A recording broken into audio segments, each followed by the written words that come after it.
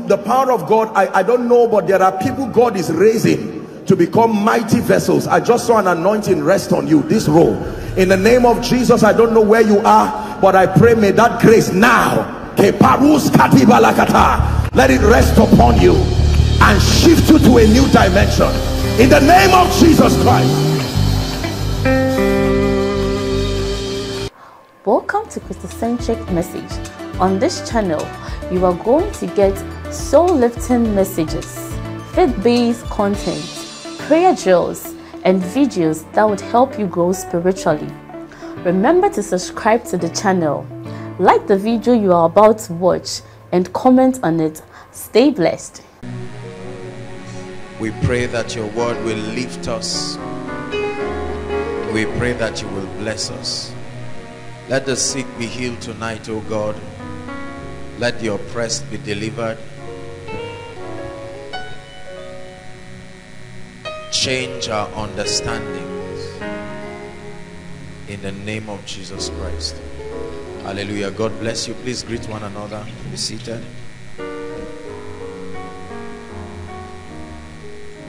Hallelujah. Hallelujah. Hallelujah. Again, we apologize for the sound quality. Our technical department, um, they are doing their best to stabilize the sound.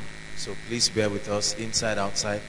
I'll be as clear as possible and I hope that um, we all pay attention. Jeremiah chapter 1. We'll continue on our teaching on the secrets of the kingdom. Tonight will be part 2. I welcome everyone. Um, those following us online, you're most welcome. You're part of us. Open your heart. There's no distance in the spirit. Hallelujah. Jeremiah chapter 1. I'd like to start tonight. We have a lot to cover. Just to prepare our hearts before we go into our discussions. This was a vision that Jeremiah had with the Lord Jeremiah 1 and we'll start reading from verse 4 we're reading down to 12 Jeremiah chapter 1 4 to 12 then the word of the Lord came unto me saying before I formed thee in the womb I knew thee. And before thou camest forth out of the womb, I sanctified thee and ordained thee a prophet unto the nations. And then Jeremiah replies, Then said I, Ah, Lord God, behold, I cannot speak, for I am a child. Verse 7 But the Lord said unto me, saying, Say not, I am a child, for thou shalt go to all that I shall send thee, and whatsoever I command thee, thou shalt speak. He said, Be not afraid of their face, for I am with thee to deliver thee, saith the Lord. Now, this is the verse of emphasis 9. Then the Lord put forth his hand and touched my mouth. And he said unto me, Behold, I have put my words in your mouth. Verse 10. See, I have this day. Listen, this is God revealing to a man the possibilities that can become of his life if he dares to believe God. How can God give such a prophetic word to a little child who just complained that his major problem was his inadequacy? God acted as if he did not know the boy was talking about the limitation that his age had created for him. He said, see, listen, I have set this day, I have set, uh, I have this day set thee over the nations, over the kingdoms, to root out, to pull down, to destroy, to throw down, to build, and to plant. That is the prophetic word. This is what I want to do with your life. This is how far I want to do business with you. Verse 11, moreover, In continuation, he says, The word of the Lord came unto me, saying, Jeremiah, this is what I want to do with your life, but what is your perception? He says, What seest thou? I have shown you what I see about your life, but what do you see? And then Jeremiah said, I see the rod of an almond tree. Then the next verse, he says, Then said the Lord unto me, Thou hast what? Well seen. Please give us any other version. NIV, any other version. It says, Thou hast well seen. There's a version that says, Thou hast seen correctly. I don't know exactly which of them, but just, just give us any other version that has a different rendition. NIV says, You have seen what? You have seen Jeremiah, this is your prophetic destiny. Regardless of your age and your background, regardless of your limitations, I have set you. When? He said, This day. Not when you grow up. In my mind, this day, I have set you over nations to root out, pull down, uproot, build. But then he says, the only limitation to this prophecy coming to pass now is what you can see. And then he says, What seest thou? He says, I see the rod of an almond tree. And then he says, You have seen correctly. On the strength of your correctness, you have authorized me to watch, to see that my word, which you have seen and agreed with me, must come to pass. It says, For I am watching to see that my word is fulfilled. Please give us amplified. Amplified says, For I am alert and active, watching over my word to perform. Right? It says, I am alert and active, watching over my word. Hallelujah.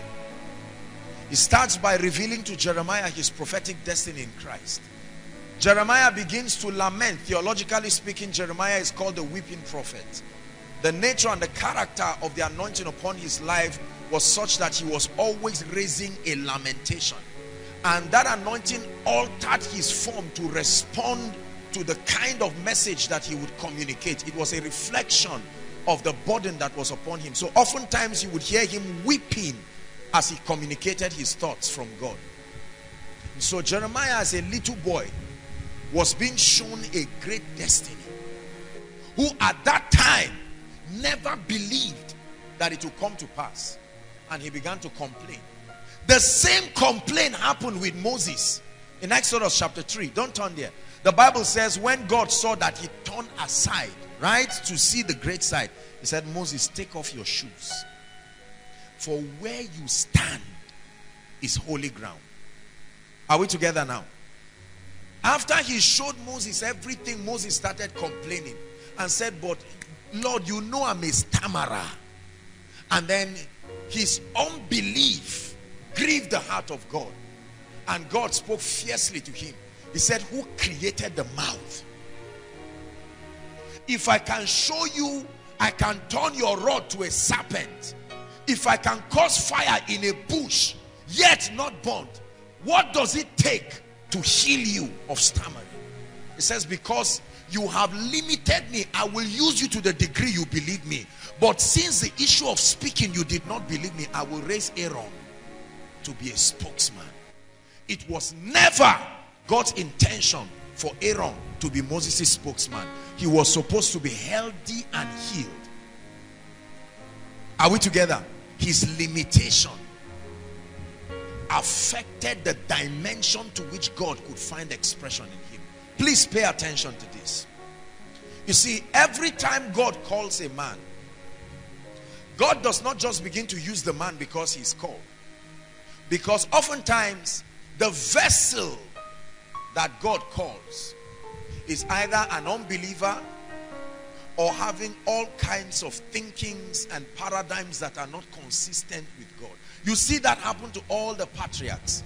Abraham, for a long time, When God began to speak to him about his child coming, Abraham for a long time, listen, he tried to agree, but the reality of his supposed impotency and Sarah's barrenness to a point where Sarah laughed. She laughed when the angel spoke and said she would be the mother of nations. God could not do so much with Abraham until one time God told Abraham, come out. When he came out, he said, try to count the stars. Abraham tried and tried and tried and finally he couldn't count it. He says, so shall thy seed be. And then the Bible says, finally, Abraham believed God. He agreed with God. Oh, now I understand what you are trying to tell me. And then the Bible says it was credited, reckoned unto him for righteousness. It is not just enough to know that God is mighty. Please listen. The dynamics of impact, the dynamics of doing great things for the kingdom does not just lie on the recognition that God is mighty. As great and mighty as God is, if that is the scope of your revelation about him, um, you will be blessed. It will impart reverence and awe, but you will not be able to do much. The idea of his revealing his might to you is so that it can get you to a point where you are convinced about anything he wants to do in and through your life. So that the revelation of his might will swallow away what you may hold to be limitations in your life. Here he meets Jeremiah and says Jeremiah I want to do business with you. And Jeremiah comes as a young boy says Lord I've heard about you doing great things with people and prophets now you are telling me I'm a prophet but I'm limited my background, my ideologies are limiting me. And God began to challenge his perception. The series that we've been taking on the secrets of the kingdom are an attempt to reveal the working principles of the kingdom. I call them secrets or mysteries. The very laws upon which impact in the kingdom is founded. Your ability to understand this thing and agree with God becomes your key to an enviable life of impact. Your inability to understand will limit God greatly in your life. So please pay attention. You see, it is the word of God that transforms. But I've shared it again and I'll keep drumming it until it becomes a persuasion. There is a system through which the word transforms people. The word does not transform people just by entering them and doing something magical. No, that's not how the word works. Write this word down, word, W-O-R-D. Is the Greek word logos. And that word logos, it does not just mean the speakings of a man. Right? The, the root word that is translated logos is the word thoughts. Please write it down. Thoughts. Like thinking. Thoughts. Is the word idea. Write it down. Is the word opinion. Opinion. Is the word paradigm. Paradigm and it is also the word mindset. So when we say the word of God, we are not just saying the things God is saying. No, we are saying the, the understandings that construct his mind. Are you following me now? When we say the word of God transforms, that word, word is not just the speakings of God like his communication from his mouth to you. It means his ideas. It means his ideology. It means God's opinion about everything.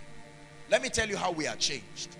When your life consistently keeps realigning to God's own idea about everything. Are we together? So you find out what God's perspective is about divine health and about the reality of you staying healthy. And you compare that to your current state. They tell you you have SS they tell you you have all kinds of sicknesses that destroy you. But you find out his word is a compendium of his perspective about you. And so he tells you by his stripes I am healed. I have been healed. If the spirit that raised Christ from the dead right dwells in your mortal body the bible says that same spirit will revitalize. Now that's his opinion. You can be aware of it and still remain sick. Or you can choose to subscribe to that new ideology and watch the word of god come to pass in your life. You see god is alert ensuring that all those who truly believe his word live with a testimony. It may take a while, brothers and sisters, but as surely as you correctly believe God, give him time. There must be a performance in your life. Say amen. I am amazed at how many believers think their lives will change just because they are born again. I am more amazed at the preachers that teach Christians every week that all it takes to triumphant success in the kingdom is just to surrender your heart to the Lord and go to bed. That looks very spiritual. It is very evangelical, but it's not the accurate presentation of God's thoughts as far as our success is concerned. Something in that equation is missing. And this is why people get born again. And they say, I'm born again. I'm a believer. Why are things not changing in my life? Everything I used to suffer before, I'm still suffering them after. And I'll tell you why. Because you see, you receive salvation through faith, an act of God's grace. But there is a partnership with you to activate the realities. The Bible says that we draw out of the wells of salvation. Everybody say wells. Not just one. Salvation as a package is broken down into different systems of possibilities. Your finances, your health, your life, the operation of the spirit in your life, your spiritual growth. It is now left for you through the ministry of the Holy Spirit to walk with the word of God and change your mindset. Please hear me. I am I am a firm believer that a believer who has refused renewal will experience the exact same thing with an unbeliever. The only difference is the security of his eternal salvation. But as far as the earth is concerned, there will be no, absolutely no difference as far as kingdom exploits is concerned. Are we together? Nicodemus came to Jesus by night in John chapter 3 and he says, Rabbi, we know that you are a man sent from God. He said, for no man can do these things except God be with him. And then Jesus responds to Nicodemus in verse 3 of John 3. He says, Verily, verily, I say unto you. He said, except a man be born again, he said, he shall not, he cannot see the kingdom. He uses the word see the kingdom. Are we together? Verse 3. Verse 4. Nicodemus responds and says, ah, how can a man now be born again when he is old? Will he enter a second time into his mother's womb? Then Jesus explains his concept. Verse 5, he says, Verily, verily, I say unto you, except a man be born of water and the spirit, then he switches terminologies. He said, He shall not enter. It's one thing to see the kingdom, but it's another thing to enter the experience of the kingdom. I call it prophetic realities and experiential manifestations. It is one thing to hold the prophetic word of God. It is another thing to enter the experience of it. Between thus saith the Lord and it came to pass is a process. That process is your degree of alignment. Please listen to what I'm teaching you. This will hold the key out of every life of pain and shame and mediocrity. Hallelujah. Do you believe what I'm sharing with you tonight? I watch people very innocently, well meaning people live under the expectations of God and they are not doing anything about it. Some are waiting for God to do something about it. So you hear people call and say, man of God, I don't know what is happening in my life. I serve the Lord, I go to church, but nothing is happening. And the biggest area largely is the area of finances. Nothing is changing. Is God so wicked? No, he's not. There are systems in the kingdom. Everybody says systems.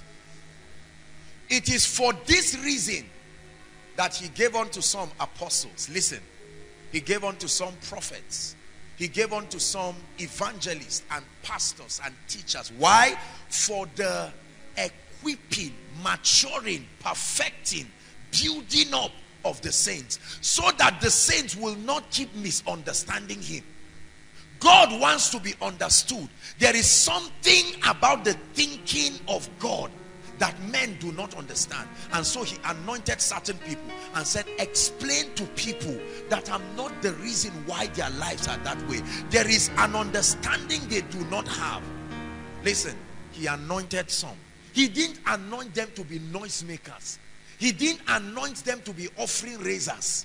He didn't anoint them to just be jeep drivers. He anointed them for the maturing. If you are in the fivefold ministry and you're not contributing to demystifying the kingdom, you are wasting God's time on earth. The role of the fivefold ministry is to present the kingdom, make it clear, let the inhabitants, believers understand. By the time they see the spiritual logic to God's system, they will now say, Ah, I see. It's not that God is wicked. I never knew that there is a system like this. I never knew that godliness with contentment is great gain.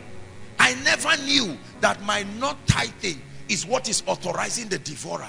I have prayed. I never knew that as powerful as prayer is, is not the only key to opening doors in the kingdom. So the fivefold ministry. By grace, it's not just about their spiritual life. There is an anointing that comes upon them and gives them an advantage.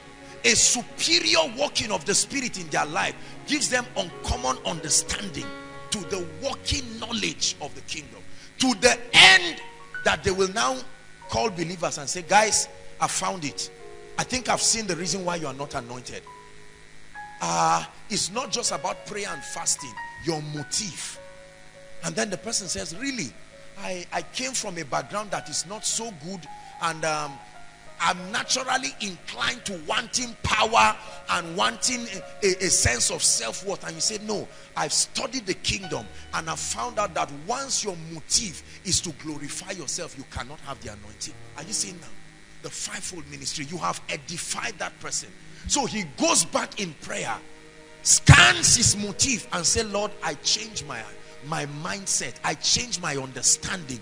It's no longer about being a celebrity. It's about seeing your kingdom come at once. He satisfies the condition for the power of God. That same person will have a dramatic encounter and go for a meeting and suddenly begin to see the power of God because someone adjusted his mindset. What you are receiving and what you receive every week it's not just impartations, it's not just encounters, but you are receiving realignments.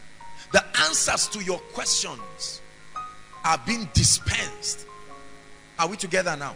To the end that you will now find out why certain things may not be working in your life. Now it's up to you to be malleable enough and say, Lord, I am the potter. I am the clay. You are the potter. Mold me to whatever form. You can argue and say, no, I don't agree with this and then continue suffering or you can say look i have i have found the truth and i will adjust I like, I like, um, what's his name? That short guy, the tax collector. Zacchaeus. When he climbed the tree, he was a wicked man. He defrauded people because of his office as a tax collector. But his motive was sincere. Now he climbed the tree. I know why he was a wicked man because of his size. He probably felt that they were looking down on him.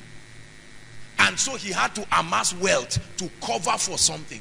So the issue was not finances. The issue was trying to cover for inferiority.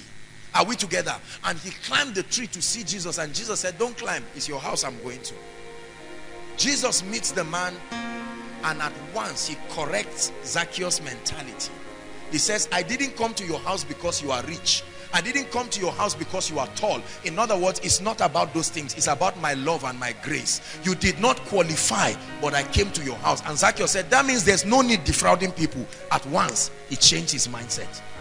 Are we together now? He started returning everything and said, ah, my amassing money was not because I like money. I was hoping that through it, I will look like royalty so that every celebrity will visit my house. Now, Jesus has abused my mentality.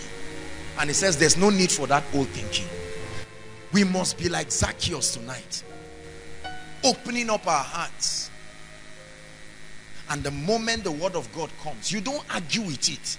You see, only foolish people argue with the word of God. Especially when you are not getting results in your life. We live in a generation where people are confident to talk about things they know nothing about. Are we together? Someone who doesn't play football, you see him arguing for three hours.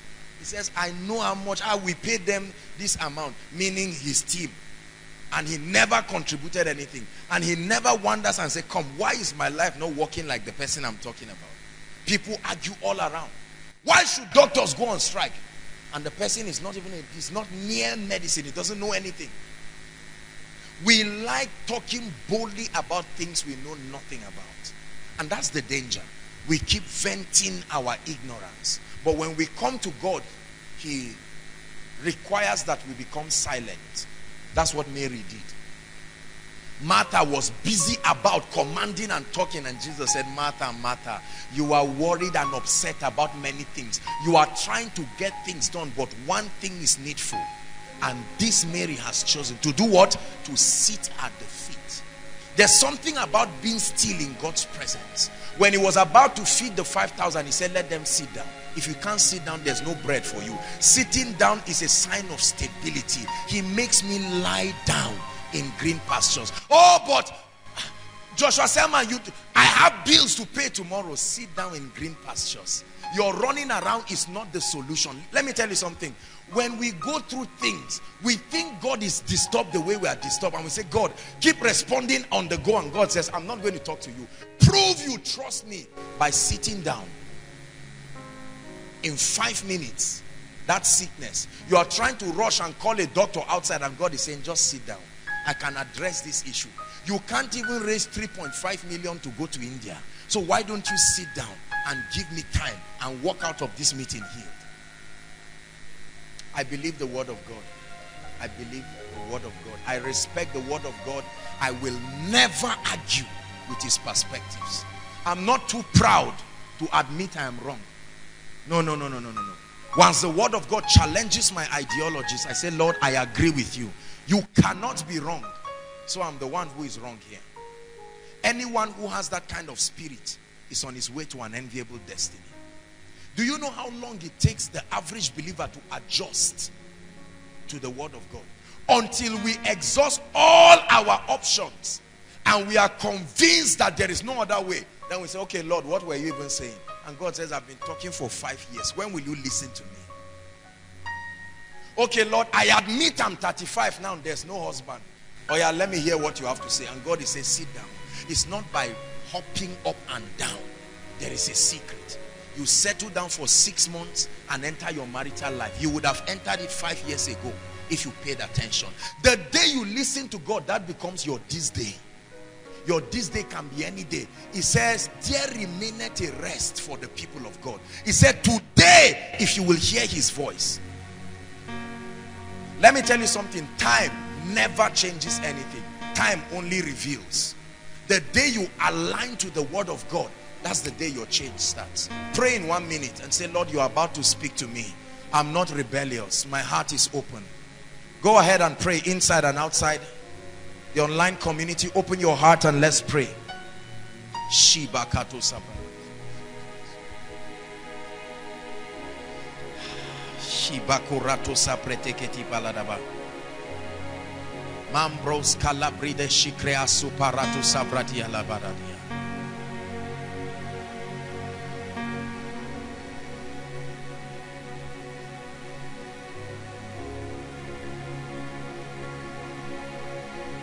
Thy word is a lamp unto my feet and a light unto my path.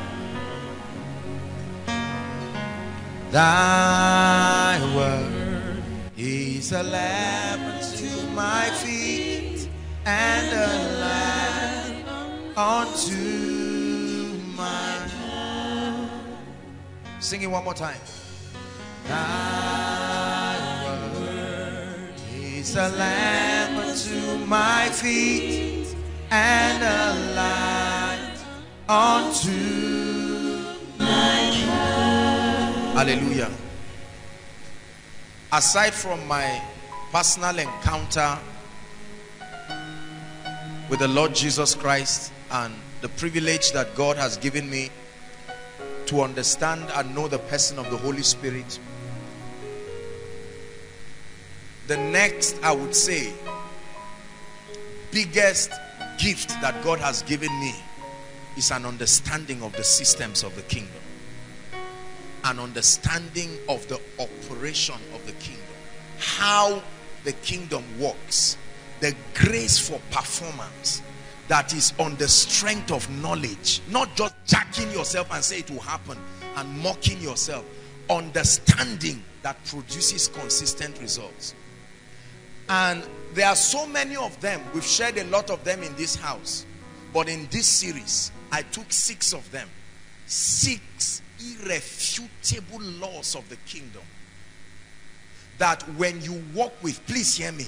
When you walk and live by these truths, when you allow the word of God to superimpose your thinking and it becomes your conviction and you are diligent to act, I promise you, there will be a performance.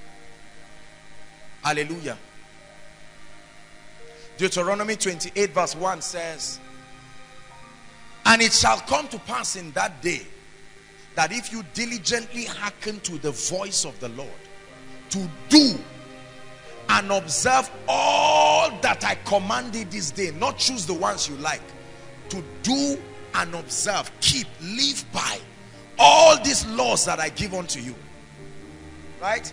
It says that you shall be exalted above all the nations and all these blessings shall come to you and overtake you. Then he begins to tell you, you will be blessed in the city. You will be blessed in the country. And all of that, all those blessings. But they are tied to your obedience. They are tied to faith. They are tied to your response, which is a product of your conviction. When you don't believe a thing, you cannot live by it. You cannot act upon it. So we took some laws. The first was the law of encounter.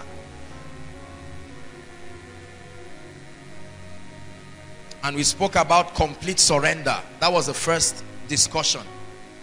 That complete surrender is the law that governs the manifestation of the hand of God upon a man. That every time you see a man, a woman a man of God walking in unusual, strange dimensions of graces.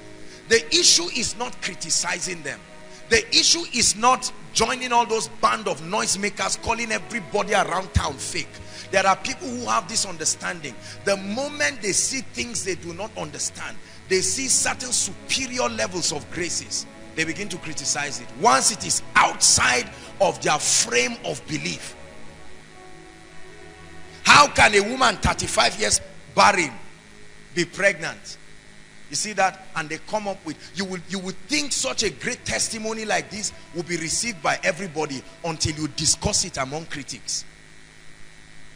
They'll say, where is the woman? Bring her. Let's see her and the baby. And let's have a doctor certify that it was 35 years. As if the man forgot when he married his wife. You see how people think.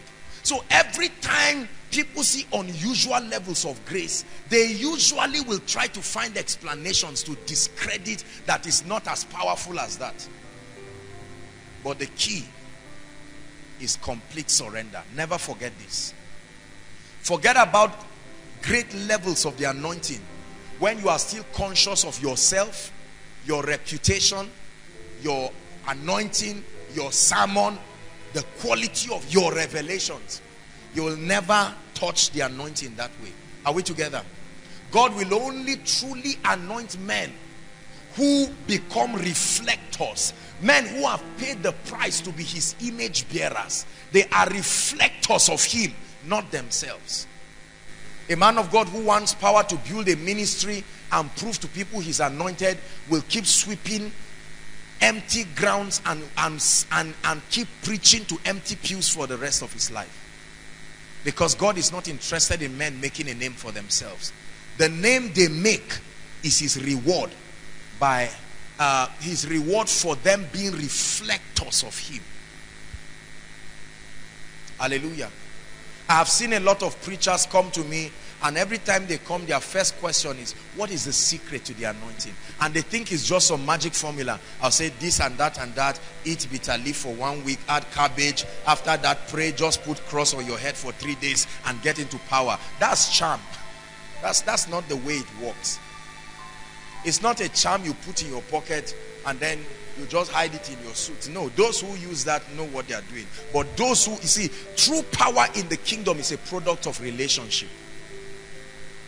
It's a product of relationship. You cannot receive from a God you do not know. You can receive from a herbalist you do not know. You can receive from a native doctor you do not know. You don't even have to know them. But if you want to receive from God, the first assignment is not your hand, it's your heart. My son, give me your heart.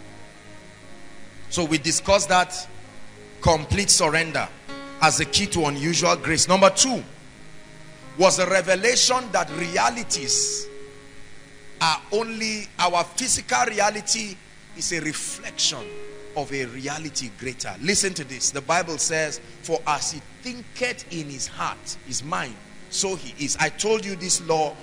It is the law that births realities in our world. That your physical life is only a looking glass. Are we together? The quality of your life, spiritually and otherwise, is a reflection of something happening inside. Your life is not authorized to change until your mind changes. Anything that is not a reality in your mind cannot be a reality in your life. Genesis 11, God came and saw Nimrod, the son of Cush, mobilize certain people and said, go to come, let us build a city whose top will reach the heavens and let us make a name for ourselves. The Bible says they burnt mortar and slime and bricks and started building. And then the Bible says God came to look down and see the building which the Son of Man had built. God said as far as he was concerned, they had finished the building because they had conceived it as a possibility right here. Your life will never change until your mind changes. Let me tell you the danger of trying to change things physically without changing it in your mind. If one million naira enters your hand and there is a poverty mentality in you, that mentality will adjust your behavior to force that money to leave you. And until it leaves you and you become poor, then your mind will interpret it as you being normal. Your mind will interpret wealth as being abnormal because it's not consistent with your beliefs. Are we together? Yeah. So you must make sure that transformation happens first within.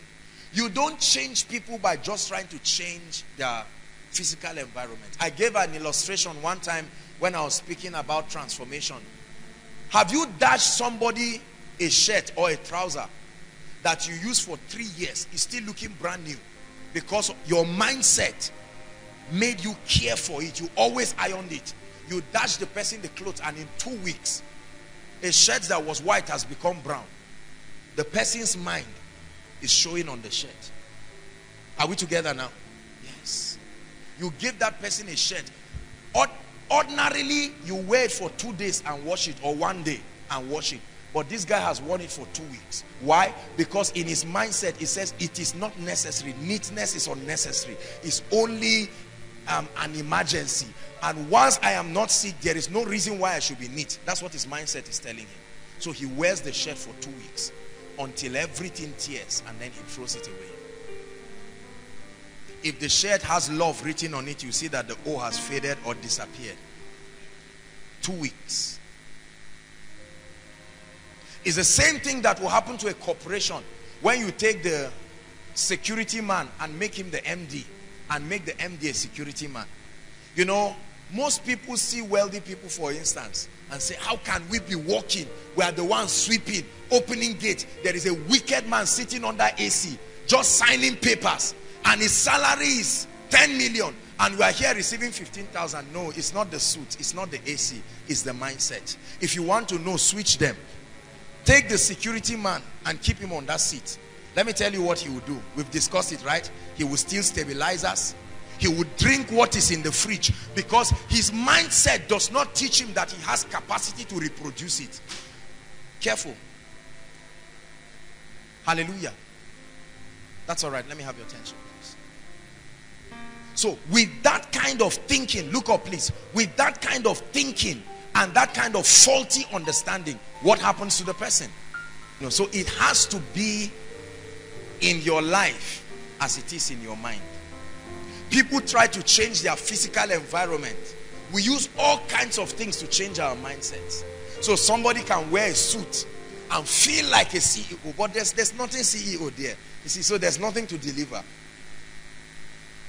You can carry complimentary cards and move around and they say, who are you? you? Say, my name is this and that. I am the CEO. What is your value? I don't understand what you're saying. Because for you to be a CEO, there's something you should have gotten. You ignored it and thought it was all suits.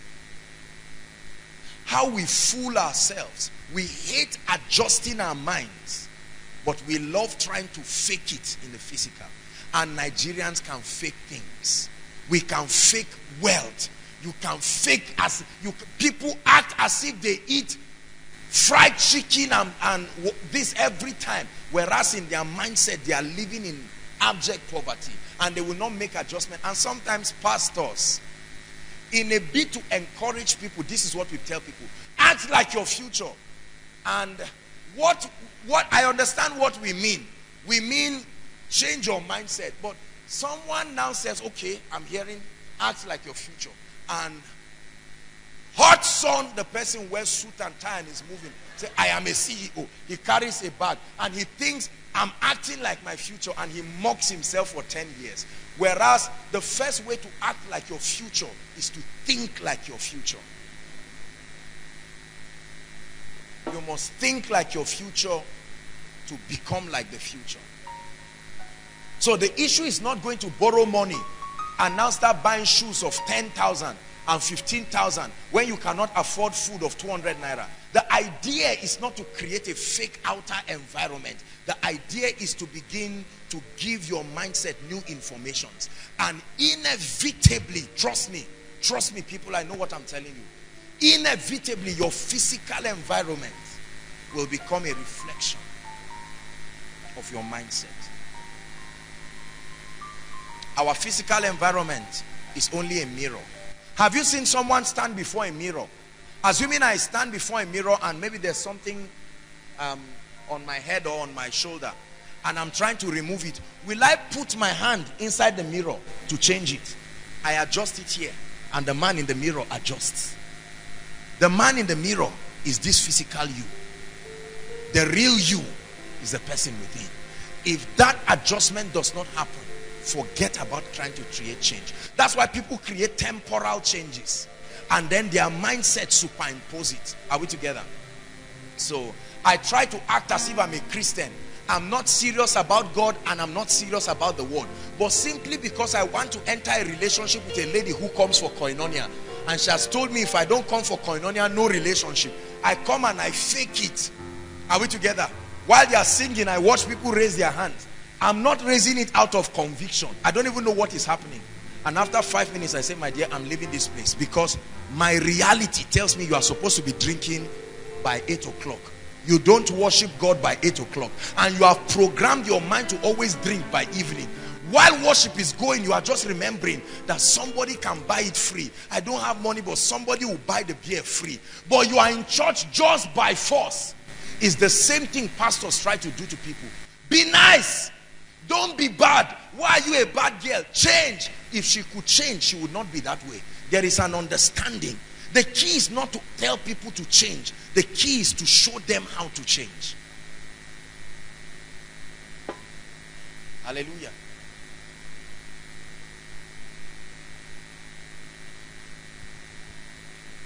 As it is within you, so will it be in your life.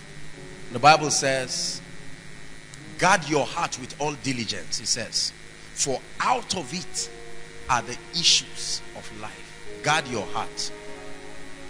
Don't allow any kind of thing enter your mind. Let me tell you why many of us are confused. We are confused because the informations we allow into our spirits are not constructive. You finish listening to a worship song right now two hours of strong worship. Are we together? The moment you finish, you have the selection. You have gospel songs. You have uh, all, all the others, eh, you know, songs like that, well selected. So when you want to feel spiritual, you finish listening to the gospel songs and then you announce say, Kai, enough of church, I beg. Let me just hype myself and enjoy and now you put another thing you are you are diluting what you spend time you finish listening to the word of god and all of a sudden you just put a pornographic movie and you are watching and you are happy and you are laughing. At the end of it you prayed for two hours but right now you don't even know what your mind is thinking again. You you you the goal was for your mind to think creatively but all through your mind is thinking about something you are trying to fight because you are feeding it. Are we together? You are feeding it. You go and sit down in the midst of people who are always gossiping. You sit from 10 o'clock till 2 talking about people, tearing down people. And afterwards you go back and you are surprised that that is your entire thinking. You have to protect your heart. Build a wall around your heart. Don't allow just anything find expression. No. No.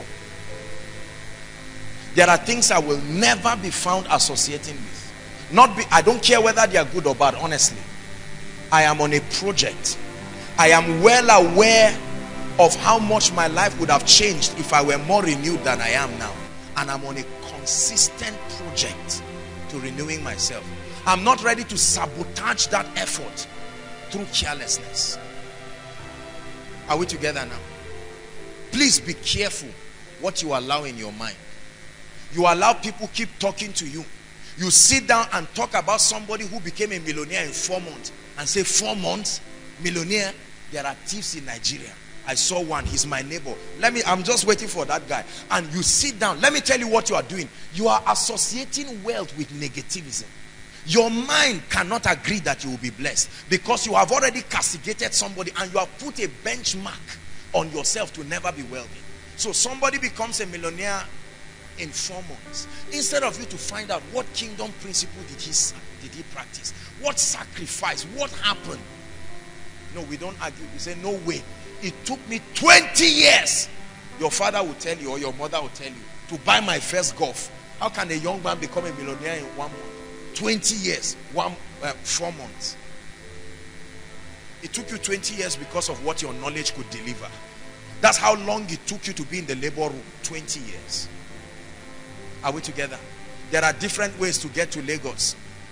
You can trek. You can ride a bike. Are we together? You can follow a luxurious bus. You can have your private car. You can fly. You can take a private charter. You can have your own jet.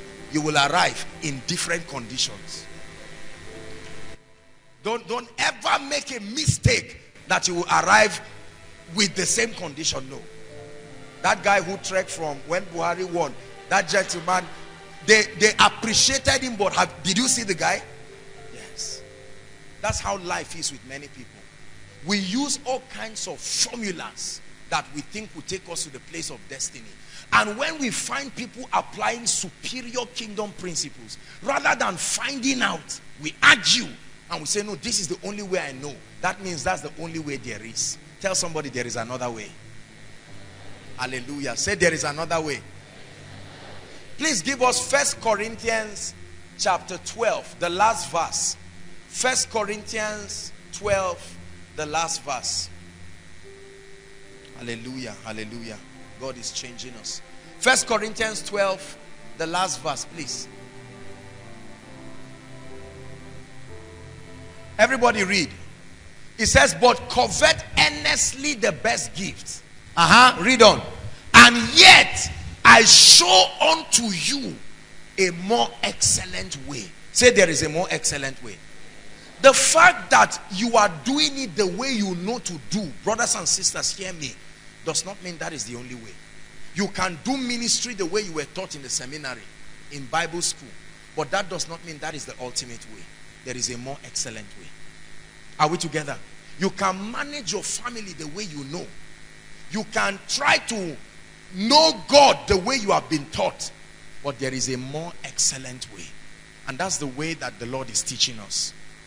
That it is not all up to God and it is not all up to you. It will always take partnership. Because the kingdom of God is made of systems. And every system defines the operation of God in a particular way. There is the administrative and governmental system of the kingdom. There is the economic system of the kingdom. Are we together now? There is the family system of the kingdom. The area I was teaching the school of ministry students yesterday and uh, fortunately we are, we are studying the course ministry. And while I was teaching them, I taught them something. I told them, I said, when the devil comes to your life, he finds out which operation of the system you do not understand. That becomes his entrance point in your life. So if Satan comes to your life and finds out that you are a prayerful person, he will not start his attack that way. He finds out that you don't have a problem fasting and praying and studying the word. You have already understood the relevance. Yet, you are not an excellent person. He uses your lapse of lack of excellence as the access point to your life. Are we together now? Jesus said this, Satan cometh to me and does not find anything. Satan tried to access the life of Jesus through different systems. At first, he tried to terminate him at birth. It didn't happen. He refrained himself. Waited for Jesus when he was tired. He now came trying to use hunger. Turn these stones into bread. It didn't work. He tried to use pride and ego. Are you not the son of God? He shall put his angels charge over you. Even tried to use spirituality. Jesus defeated him. And the Bible says he left him for a season. Watch this. He now tried to come through Peter. Are we together? To prohibit Jesus from talking about his death and resurrection. Jesus detected it and rebuked him. Finally, he came through Judas. And he was allowed. So that scriptures will be fulfilled. Not because Jesus did not know. The Bible says after they took the communion, Satan entered Judas and he went and caused, made the arrangement for them to kill Jesus Christ. The systems of the kingdom. The area you do not know is the area the devil will defeat you in. And so I'm opening us up to the multifaceted dimensions of the systems of the kingdom. To the end that we will be fortified. Not just spiritually. Not just financially not just maritally, there will be complete and balanced growth. Number three, I shared with us last week on how to receive direction and divine strategies. There is an operation of the kingdom that is responsible for helping men surmount mountains in their lives. And it's found in Proverbs chapter 3 when you read from verse 5 to 7. It says, trust in the Lord with all your heart and lean not on your own understanding. The next verse says, in all your ways, acknowledge him. And there's a promise tied to it. Said, if you acknowledge him, he shall direct your path. Right? Then you read verse 7. It says, be not wise in your own understanding. Fear the Lord and turn away from evil. But the verse of emphasis is verse 6. In all thy ways, acknowledge him, and she shall direct your path. That every time you are confused in your life, which is normal for men, we are human beings, we do not have all the knowledge. There are times you will be faced with mountains that are bigger than you. Listen to me, please. There are times you will be faced with all kinds of mountains, financial mountains, marital mountains, educational mountains, career mountains, spiritual mountains, health mountains. There are all kinds of mountains before you. And Jesus is teaching us how to surmount those mountains. He says, every time you get to a point where you are in a crossroad, you are confused, you don't know what to do. He says, forget about the object of your worry and begin to acknowledge him. Flaunt his majesty. Remind him of the things he has done before. And he's authorized to create a pathway. Number four. The law of mastery and competence. This is an operation of the kingdom that is responsible for producing greatness and rewards. The kingdom operates on a reward system. This is one of the fundamental laws of wealth, one of the fundamental laws of relevance, one of the fundamental laws of influence, one of the fundamental laws of greatness, the law of competence. Proverbs 18, 16. It says the gift of a man I told you to write many things as similes of that word gift. The value of a man. The contributions of a man. Are we together? The abilities of a man. When well refined, developed and deployed will make room for him. Will make room for him. Regardless of your background, koinonia. Regardless of what you know and what you do not know. When you find your giftings the abilities that God deposited in you and you pay the price to refine them, they will bring you all kinds of rewards. Tangible rewards. What are tangible rewards? Money and all the physical privileges that come. And intangible rewards.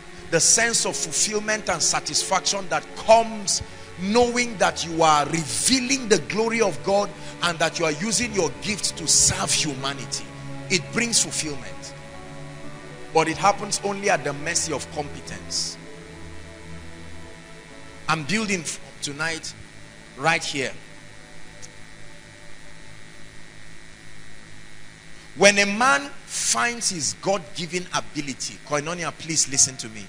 I plead with you in the name of the lord jesus christ. Pay attention. When a man finds his god-given ability he has found his way out of mediocrity. He has found his way out of failure. He has found his way out of pain and tears. But your gift in itself, although it came from God, it always comes as a seed. It always comes unrefined. Listen to me. It will take that gift passing through a process of refining of development. Are we together now? And of of mastery in dispensing it to be paid for and to be received and rewarded for. Nobody is going to bless you just because you think you have been having dreams that God is calling you to be a chef or to be a caterer.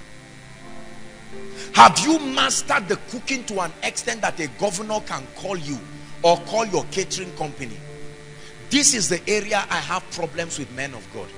Because we never challenge people to be at their best. They just bring little prophets offering for us. And we prophesy and we lie to them. Because we know that their gifts, the way it is. Someone comes to meet you and says, I want to have a, a construction company. How many years experience do you have? Nothing. Do you have a very credible engineer? No. You are the one who is the CEO of the company. What did you study? You studied fashion.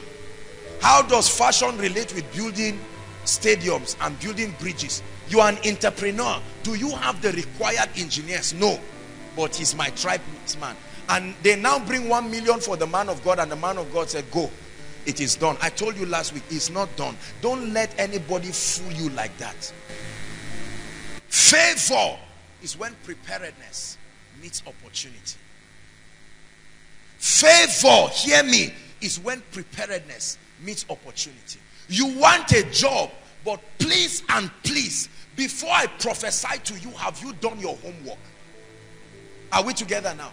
You are trusting God for a job somewhere. Before I speak to you, have you learned people skills? Have you mastered your art? Do you know your onions? Can you deliver competently? Don't come and ask me to prophesy into your life when you cannot, you have not done your homework. It's a mockery on God. So God gives you an opportunity. You have not mastered your cooking and they now tell you cook for 300 people. The name of your company is Goodness Catering Services.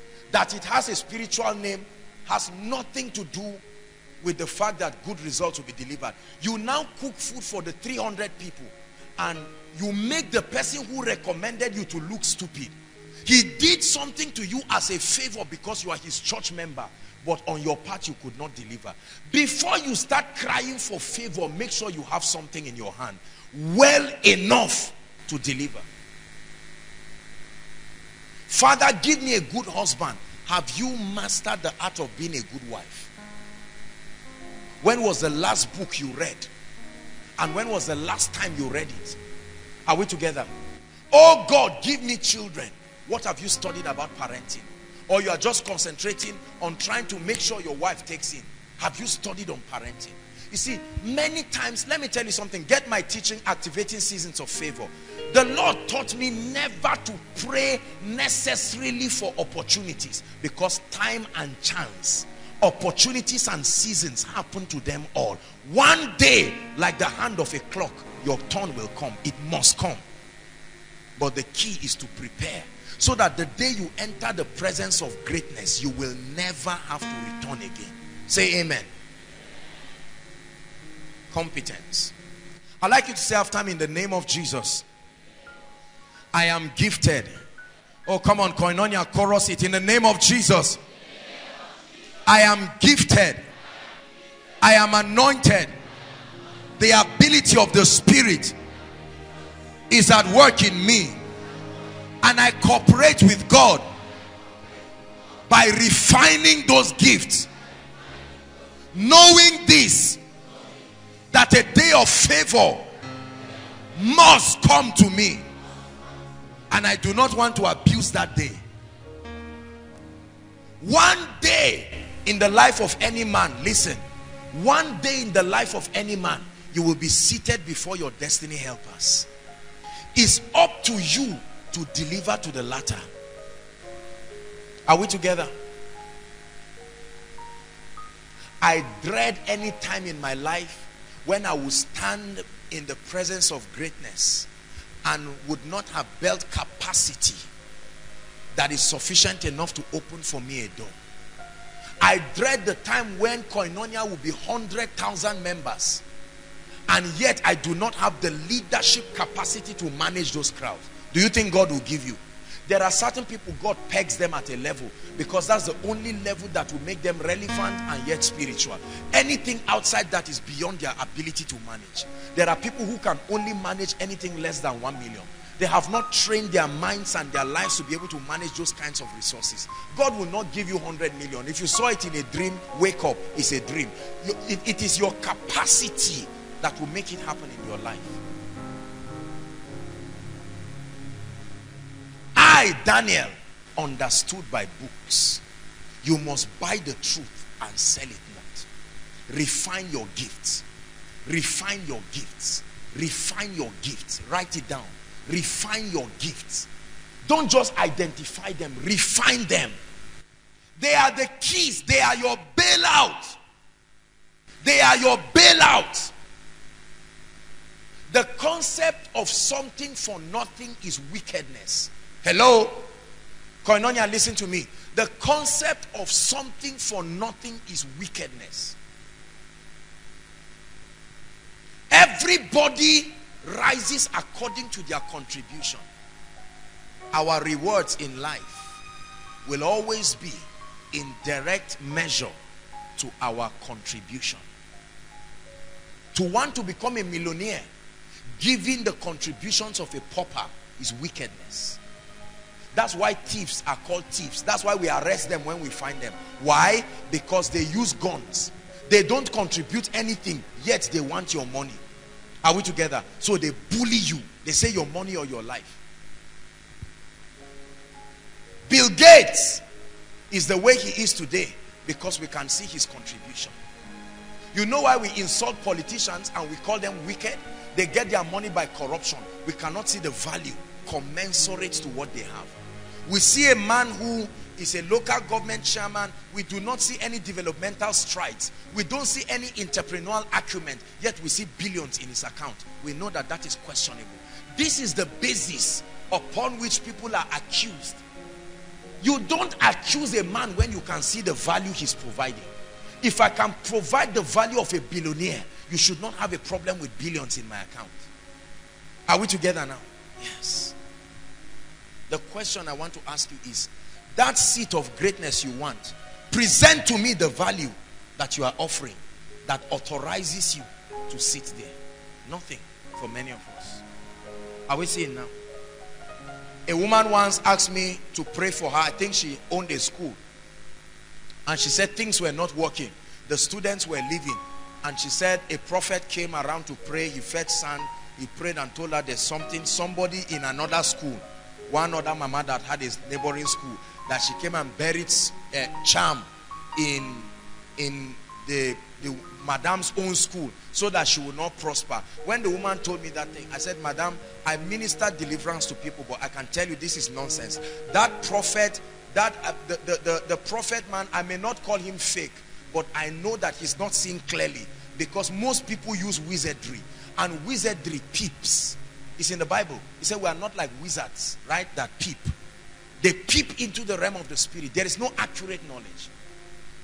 They summon strange spirits to deliver informations for them, which can be aberrated. So he comes and the woman thinks the only reason why her school is not growing well. Why should I send my child to her school? Your school uniform alone depicts non-excellence. You don't know that colors are communicators?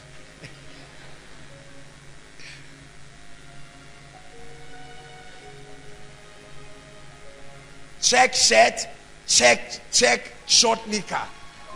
That's a school uniform, for instance. And then you put red or blue socks, carelessly done, with one tailor who is not competent, but is a brother to the principal. And so you allow the person to sew anything. You see someone very tall and his, his, his, his, his trouser is, is just at around his lap. No excellence. What of the teachers? The teach I'm not I'm not being insultive, but the teachers themselves look at the result of the person teaching them accounting. F9 in accounting, F9 in maths, F9 in economics, F9 in commerce. He's the chief, he's even the head of department of maybe social sciences. Why? Because they attend the same church. I'm telling you why people fail. There is a place for the spiritual, but never think incompetence will be substituted um, or competence will be substituted for, for prayer. Now, it is that kind of school. You finish everything. The name is not good. There is no intelligent PTA, uh, uh, parents, teacher forum. They are always fighting. You are increasing the school fees every term, every session, but there is no commensurate development. You write WAEC, 60 people write junior WAEC, only five have up to five credits. The students are not so dull. The teachers don't understand what they are doing. It is that kind of school. You write in miracle service and drop it and bring a seed and say, Lord, that school must change. And every time you pray, God tells you, go and meet somebody who has the best school in a city. Usually those kinds of people, they fight those who are doing well because they think they are colleagues. We all have schools. What is, what is the name of your own? You are not delivering. Let me tell you what keeps people incompetent. Don't think because you are doing the same thing another person is doing that that means you are colleagues. Are we together? Yes. There are men of God I see, I know, I honor them with my life. I know that we are all men of God, but I know there are levels and there are standards. I will not sit down and say, oh, this. No, no, no, no, no, no. Everybody is clapping for Joshua Selman. The same way they are clapping for me, I'm clapping for others too. Are we together now? But this colleague mentality is what keeps people incompetent. You have a supermarket, it brings you 1 million per day. You have a small kiosk, it brings you maybe 15,000 per day. You now sit down together. We are all wearing suits. We are colleagues. Are you doing the same thing? No. Are you getting the same result? No. But in our arrogance, we say we the entrepreneurs. This guy has a kiosk. This guy has a shopping mall. But that humility to learn. There is a saying in Hausa that the person who can ask for road will never get missing. The, the keys to make us competent are there. It just takes meekness. But many of us are too embarrassed to improve. We're too ashamed to seek knowledge. Especially because that knowledge we want may come from those who are younger than us, less privileged than us, so we don't submit ourselves to listen. I've been in ministry for 10 years. It's not working. But you say we are still ministry. We are part of PFN. We are part of CAN. A young man comes and in three years he's doing remarkable things. I say forget about all those small children. He's young. That's why he's attracting his age mates. Have your age mates died? Why don't you attract them? Excuses that are reflectors of our, our lack of desire to move forward.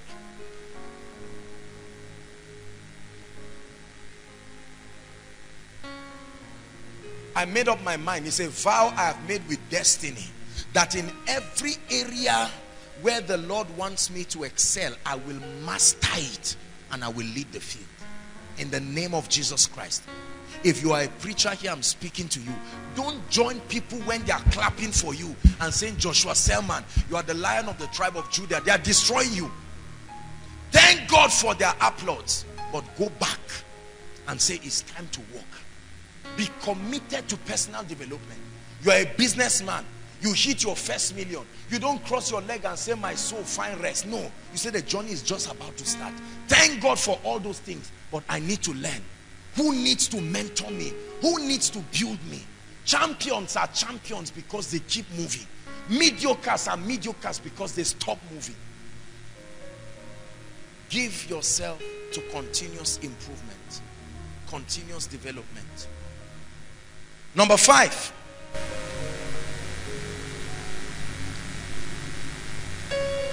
The fifth law in the kingdom is the ministry of destiny helpers. ay, ay, ay, ay. May God bring a helper to your life. Mark chapter 2 verse 1 to 5. Please media help us. Mark 2 1 to 5. I'm teaching you the fifth law that is responsible for producing champions, giants in the kingdom. Will you open up the gates? Gates. Open up the doors.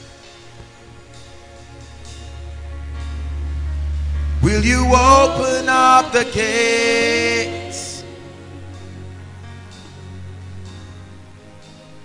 Open up the door. Again, he entered into Capernaum. Please, let's read this down to verse 5. After some days, and it was noised abroad that he was in the house. This is Jesus now. And straightway, many were gathered together, in so much that there was no room to receive them. No, not so much about the door. And he preached the word unto them. Now, something remarkable happens. Verse 3 and they came unto him. You, isn't it interesting that the Bible hardly mentions the names of destiny helpers? It just says they, certain men, a certain man. Never mentions their names, but mentions what they did. Let me tell you something. Destiny helpers do not even know they are destiny helpers. It says, bringing one who was sick of palsy which was born of four. That means four people carried him. Four destiny helpers carrying a man. It says, and when they could not come nigh unto him for the press, what did they do? They uncovered the roof where he was, Jesus now. And when they had broken it up, they let down the bed wherein the sick of the palsy lay. Verse 5. When Jesus saw their faith, he said unto the sick of the palsy, Son, thy sins be forgiven thee. When you read on, he was eventually healed. Watch this. Write this down. Destiny helpers are people who have been anointed, assigned, and commissioned to bless you and to take you to the next level of your destiny. Anointed, assigned by God, commissioned. When Elijah was about to die of hunger in Brook Cherith, the Holy Ghost spoke to him and said, Go to a city called Zarephath. He said, Dear, I have commanded a widow. The widow never act, she never acted like she was commanded. But God told the prophet, I have commanded, I have compelled her spirit to respond to you. Listen, no matter how hardworking you are, no matter how competent you are, in the dealings of God with men, a time must come in your life when someone else will have to lift you. Please come, Shadrach. Shadrach is right at this level. Everybody, please see. Watch this. Call this a level in life. I am up here standing. His desire is to come up here. Now, he has done well. He's played his part, well suited. But he has the gift, the grace, the anointing, but no access. Are we together now? He needs an introduction of a personality or certain personalities in his life called destiny helpers. Listen to me. The assignment of a destiny helper is to take you from where you are to the next phase of your life. Please, I want you to listen because some of us are at this level right now. The truth is you have refined your gift. The truth is you are competent. But you are saying, Lord, where is that man? Where is that woman who must speak? There are three kinds of destiny helpers. Please write this quickly. Three kinds of destiny helpers. Sorry, Shadrach, you have to stand. Okay, go ahead. Just, just write. Number one, the first kinds of destiny helpers are called divine connectors. Divine connectors. Second Kings chapter 5.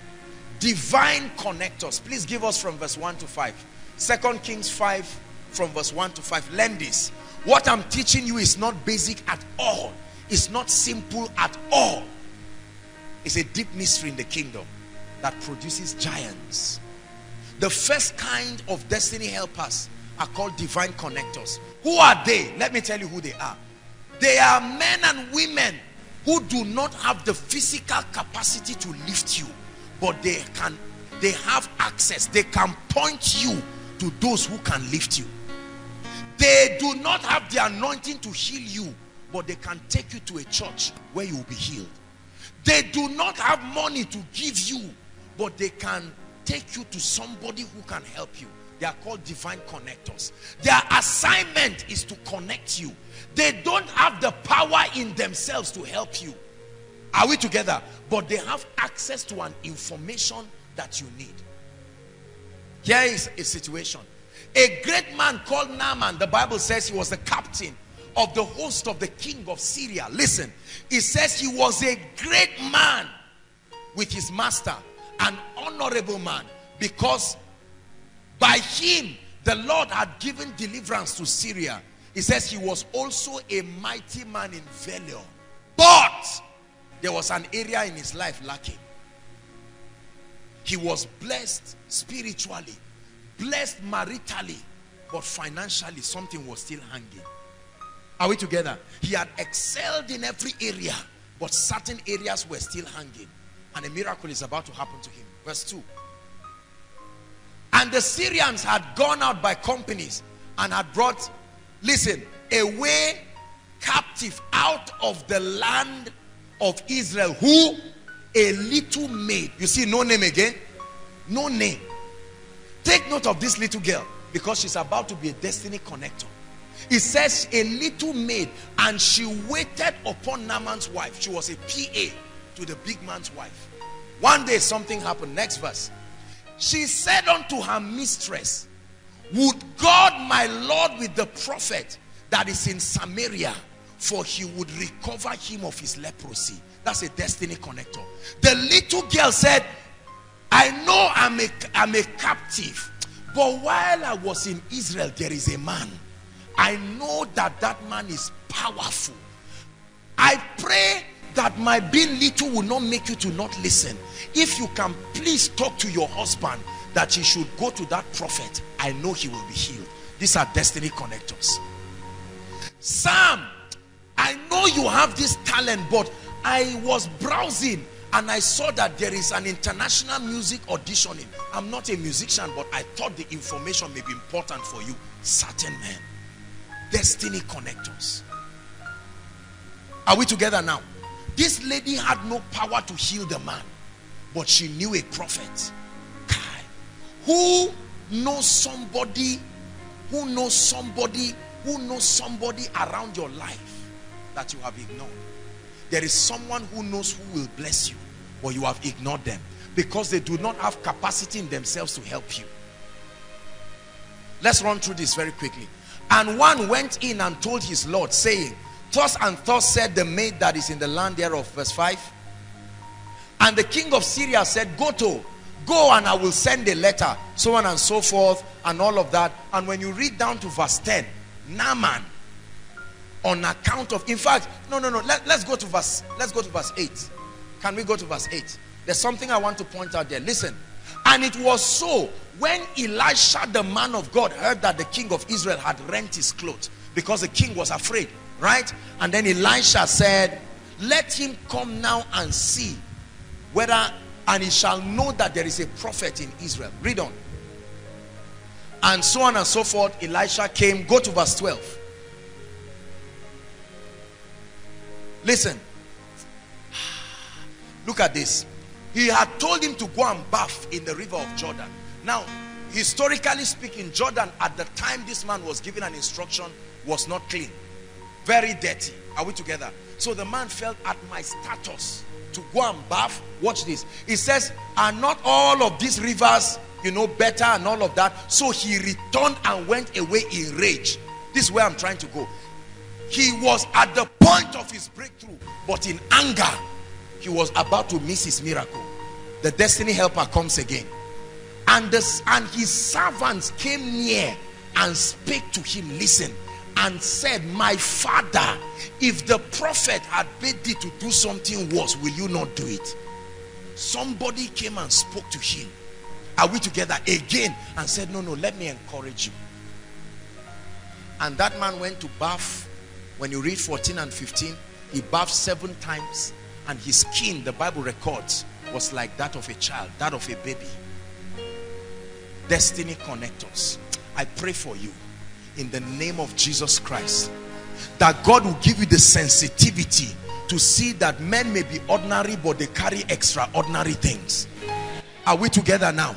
They may be your younger ones they may be children they may not have the ability to bless you but I pray that you have the discernment to listen to them when they speak to you. In the name of Jesus Christ the second kinds of destiny helpers are called men of influence. The second category of destiny helpers are called men of influence. Mark chapter 15 verse 43. Please give it to us very fast. Let's, let's be fast about it. Mark 15 verse 43. It says Joseph of Arimathea. This was Jesus Christ now. Right? We, we shared a bit of this during our prayer and fasting I'm reiterating it for so that we can believe. Josh, um, Joseph of Arimathea, an honorable counselor. The Bible says, which also waited for the kingdom of God, came and used his honor or influence. He went boldly before Pilate and craved for the body of Jesus. Listen, there are men in your life who can use their influence to open doors for you and to endorse you before great men. You need them a time must come in your life where you will need them. Are we together? Do you know that? Please come. Assuming this lady is looking for a job. Are we together? this lady is looking for a job she's tried and tried but the privilege God has given me to lead this ministry we have very influential people scattered around who honor the grace of God in my life and I appreciate it. I can use my influence. Are we together?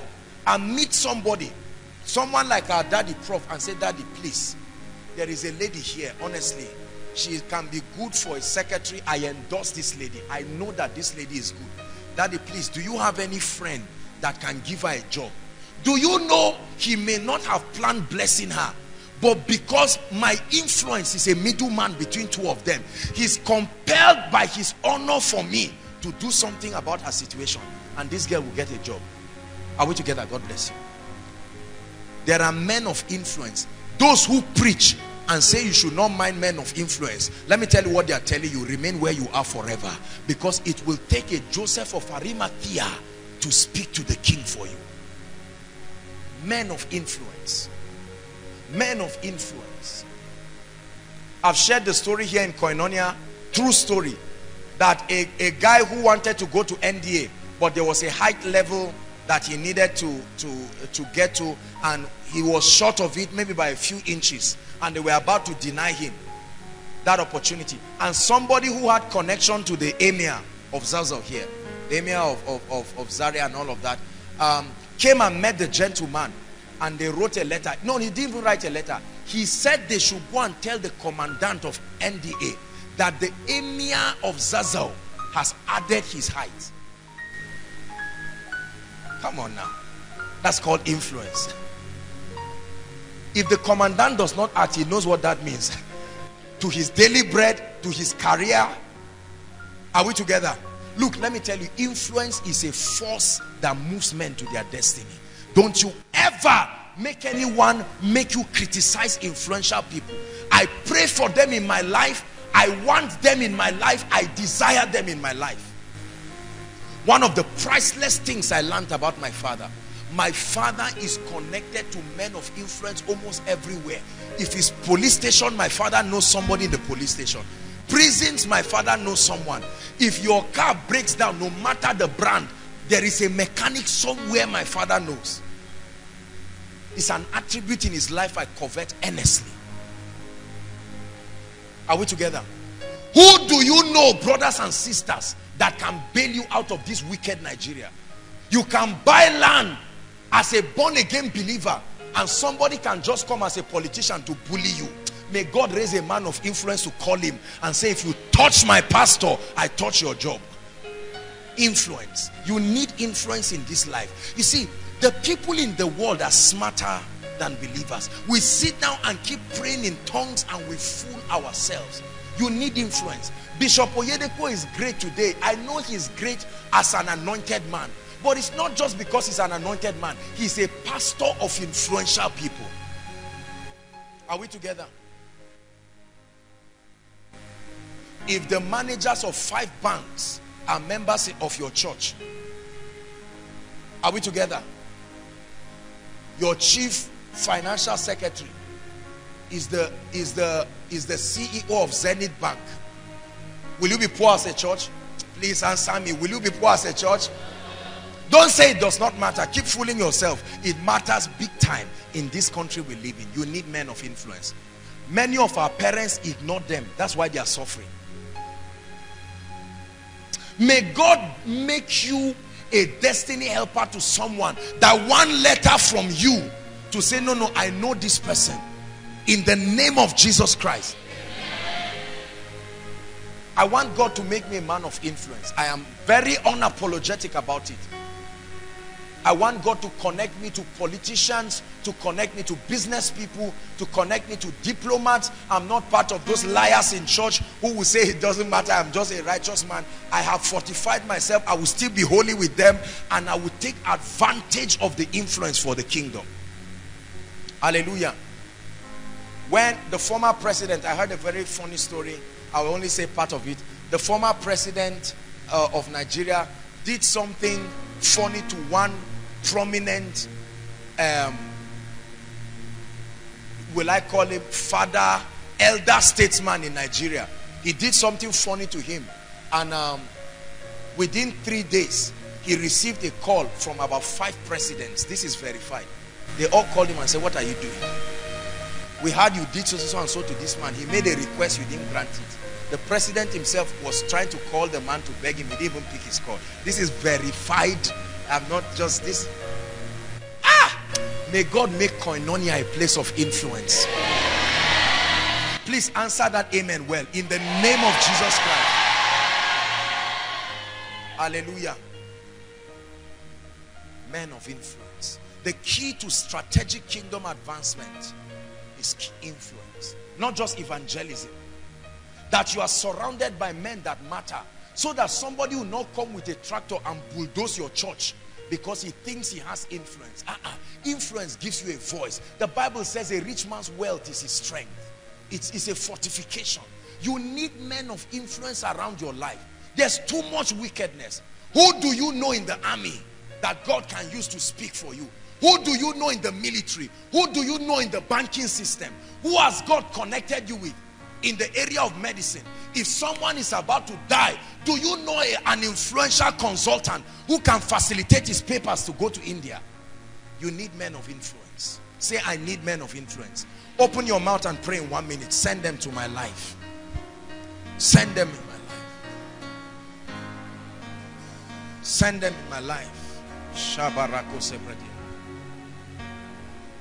Rikota Shila Karuya Sebrahata Lamada Kadia Lord, I pray one man of influence can change the story of your generation. One man of influence. Just one. Some of you, that's what brought you to Koinonia. You are saying, oh God, I need a miracle. God is speaking to you tonight. Hallelujah. Praise the Lord. Hear me. You know, they say when they post you NYSC, once they post you and nobody can walk it before, once NYSC starts, there is no hope of you being redeployed. So they told you, in my presence, I have seen people four months in NYSC, carried away, not marriage, not pregnancy. Somebody used his influence and said, I need this person for his personal comfort to be in an area. It was quietly done. In ABU, you call it third list but there are many lists according to what influence can bring. Are we together? There are people whose admission letters are printed overnight. Jam irrespective. Come on now. Cut-off point nonsense. A voice is the cut-off point. Influence. And God brings them. If you do not have men of influence, you will join the queue in life. And the queue does not move that's the sad thing about the queue in life. There are too many greedy people in front of you who will not allow the queue move. Even when they have it, they won't give you chance. They will stay there till they die. So the hope of you moving to your place of destiny will be impossible. How many look at redeemed and living faith? In every city, in every place they have land. Do you know there are territories that antagonize Christians? They will not give you land, but they had influence. They spoke to one Alhaji who knows what their prayer did for him and said, you better talk to your local government chairman to give us land. And they say, please, give my pastor land as an Alhaji as much as he wants. That's what influence can do. May God give you influence. In the name of Jesus. There are many churches in Zaria who want to buy large properties. There are, there are lands around, but they may never give churches. They may never give certain people because they say once somebody holds it. No no no no no no no. You watch what will happen in the name of jesus with koinonia. Let me tell you everybody on earth is a tenant. Nobody has a right to bully anybody for land. God will give us land that will shock you. It will be as if they brought it from heaven and just say pick. It will happen by the spirit. I'm not one of those fearful people who will not move. The earth is the lord's. But you see it's not just the voice of heaven from the voice of God from heaven. God will connect you to somebody. I have prayed for many unbelievers and I'm happy about it because they will remember my prayer the day I need their help. I prayed for them. If God gives them breakthrough, tomorrow we'll say, please, we need your influence to buy 10 hectares of land for Koinonia. and they will say let it be done if they refuse the man will buy it in his name and sell it to us influence. Our parents rejected men of influence. Now they are paying for everything. Just to give somebody admission in secondary school. See how we fast and pray. Whereas one signature can answer that prayer. I pray for you from the depth of my heart. Any man who needs to enter your life who has the influence you require may the god that i serve bring them into your life may the god that i serve bring them into your life. Please hear me. Every man on earth answers yes sir to someone. Are we together? If they refuse to tell you go ahead. Find who they answer yes sir to. And they will answer yes sir to you too. He said for i am a man under authority. I am under authority so there are others under my authority. There is no man who is no matter how people make themselves gods don't be threatened by men's noise. They only talk. Every animal claims to be the king of the jungle until the lion shows up. When the lion shows up he doesn't say keep quiet. They will be silent. Whoever has robbed your family of what is their due whoever has closed the door for you there are many of us your qualification can give you a job but the people endorsing you are like you. So their words are not heard. May god bring a, a man whose signature matters. In the name of jesus christ. There's no nonsense like a dog that is closed. It's a mirage. Someone can open that door. I've had the privilege of meeting very wealthy people. I've had the privilege of meeting very influential people and i have seen the way doors open just like that. I've seen doors open just like that. I remember one time one of our chairman um, the chairman board of trustees of this ministry is a general in the army. I remember when he was a colonel, sometime in Lagos, you know, we are so close and every time from the airport, he would send the military people with the car, his car, and then with military bikes. Nobody does any checking. As soon as they are coming, they just flash light and they salute them. Access because of influence. Who told you driver's license takes three months? It is the general thing when my international passport expired the general himself he drove me sir with his car we went to passport office in abuja uh, in kaduna. I even did the first one in abuja. So it was even complicated. In 30 minutes how many minutes? About 30 minutes or so they brought out my passport for me and i was ready to go. The woman who did it the madam there last year i went to minister in nigerians immigration their fellowship their chapel. When i went there there was a woman. They had moved her there and quickly i made friends with her because my passport would expire again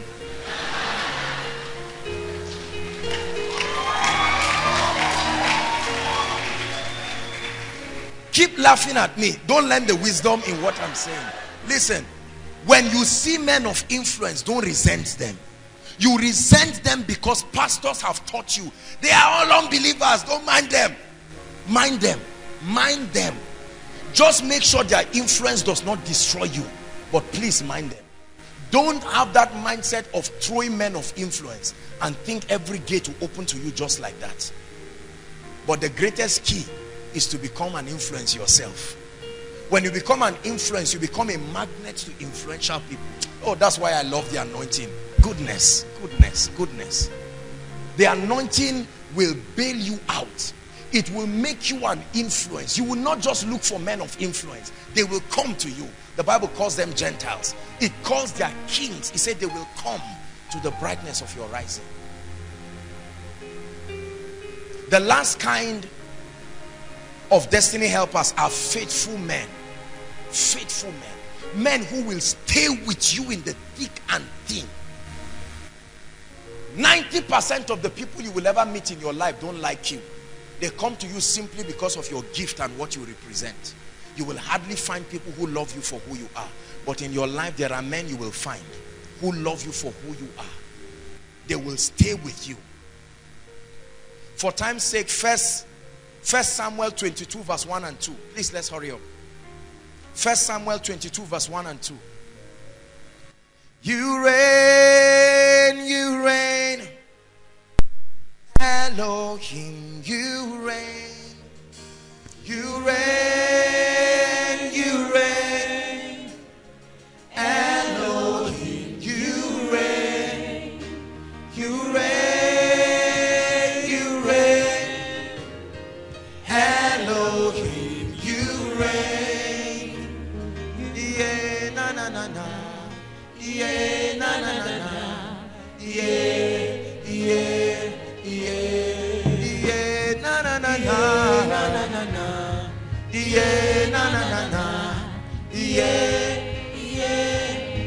Hallelujah. David therefore departed thence. David was running away from Saul. Saul was about to kill David because he was termed a rebel. Are we together? Now David ran. And the Bible says he escaped to a cave, not a palace, a cave called Adullam. But the Bible says, and when his brethren and all his father's house had, they did what? They followed him to that cave.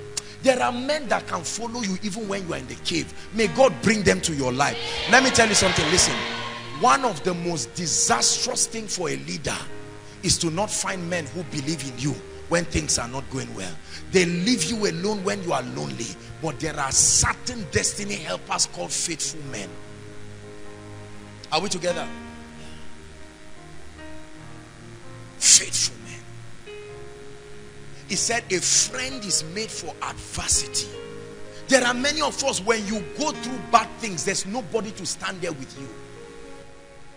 When everything works well, everybody comes. But there are a kind of destiny helpers called faithful men.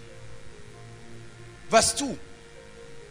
And everyone that was in distress, one that was in debt, everyone who was discontented, gathered themselves unto him. And he became what? Captain over them in a cave. How do you submit to a man who is a failure? How do you submit to a ministry that does not have result? How do you remain loyal to a business that is not working? It's called faithfulness. There are such men. There are such men. We were discussing the other day with Ejimi about a particular man of God who had gone through rough times in his life and nothing had changed about his ministry. Not one person we know of influence had left the ministry because of what happened. And I said they are called faithful men. They are not called men of God. They are not called assistants. They are called faithful men. May God position them in your life. How many great men in this country have fallen and they are left alone? There are some of us, when our parents were wealthy, there were all kinds of relatives. Now, right now, there's nobody to even pay your school fees because there are no faithful men. There are sycophants around in our world. But there are people called faithful men. The Bible says that he was captain over them and they were with him in a cave. 400 people in a cave. There was no hope. It's not like they were there hoping things would change. They were saying, if we die, let's die with you. If you are a leader here, please let me give you a secret. Every time you pray, don't just pray for gifted people. Pray for faithful men. A faithful man is better than a gifted man. A gifted rebel is not an asset. Hallelujah. Verse 3, and then we'll stop. And David went thence to the. Okay, let's just stop there. I'm not going to read. Let me give you the next verse to read. First Chronicles. First Chronicles. That will tell you the whole story all till. But, but then we're looking at something else. First Chronicles 12. Let's read 1 to 3, then move to verse 38. First Chronicles 12, 1 to 3, then 38. Let me show you something very powerful about these faithful men. Look at this. He said, Now these are the men that came to David in, Zig, in Ziklag. I'm fast forwarding now. He says, while he kept himself close because of Saul, the son of Kish, he said they were among the mighty men. What did he call them? Helpers of the war. So they had stayed with him even when he had now become mighty and was ready to fight. He trained them, they remained there. They had now become helpers of the war. And it lists all of them. Go to verse 38 for time's sake. Read with me, please, everybody. Hallelujah. Hmm. All these men of war that could keep rank. Do you know what that? Hold on. That means when David told them, You stand as a musician, they remained as a musician because David said it. Absolute loyalty, regardless of results. Are we together? He says they came with what? A perfect heart. Nobody was doing eye service. They loved him genuinely. They were willing to die for him genuinely. He said to make David king. Their determination, they said, David, you don't need to bribe us. We, we are alive to make sure the word of the Lord in your life will come to pass. Do you know God can send these men with you? Everything in your life can nosedive and they will come and say, Jimmy, if everyone will leave you, I will be here for you. Whether your wife gets pregnant or not, I am here for you. How many pastors are hiding many things in their lives? Because if members know, they will run away because they are selfish people. But there is a grace. I truly believe there is a grace that attracts faithful men to the life of a man. Watch the kinds of people you are attracting. And don't be too quick to say these people are my friends. We even say they are my right hand men. A friend is made for adversity. Adversity separates people. You will be shocked to see how many people will call you king of the Jews and crucify you tomorrow. But this guy said they were with a perfect heart to make sure Ejimi becomes that CEO. With a perfect heart to make sure that Abiodun gets to that place of destiny. So even if they would die in the process, no problem. There are such men. Listen, he said, and all the rest also in Israel were of one heart to make David king. They threw away their own personal agenda and said, David, for as long as you are not king, we will not rest. Do you have such people in your life who will take responsibility and say for as long as you have not gotten that federal government job I will not rest you can call and say uncle you have tried. Don't worry God is faithful. He said, God is faithful. I take it as a ministry to make sure you become gainfully employed. And they will run left right and center. While you are sleeping they are awake. They are saying help my son. When they captured Reverend Ntia Ntia is in Akwa Ibom Uyo. When they captured him Dr. Paul Enenche said he could not sleep. Because it's not just because he was his spiritual son. He said no, he began to engage certain forces and he started making calls all around. Called his spiritual parents. Oyedepo, they called Adeboye, called federal government people and called people and said, you better look for those assassins and release Ntia, Ntia right now. Dr. Paul Enenche went himself to Akwa Ibom and went to prophesy on that soil and say, I command that my son be released. Faithful men. Is it not enough to pray from your house? When a man leaves his house to your own to help you, it's no longer just friendship. It's called faithfulness. Pray in one minute. Lord, bring faithful men. I'm tired of false people in my life. Take what I'm saying seriously. I'm teaching you mysteries that will make your life flawless. Faithful men. faithful men even when they know what you have done they say it will never change my relationship with you. Pray.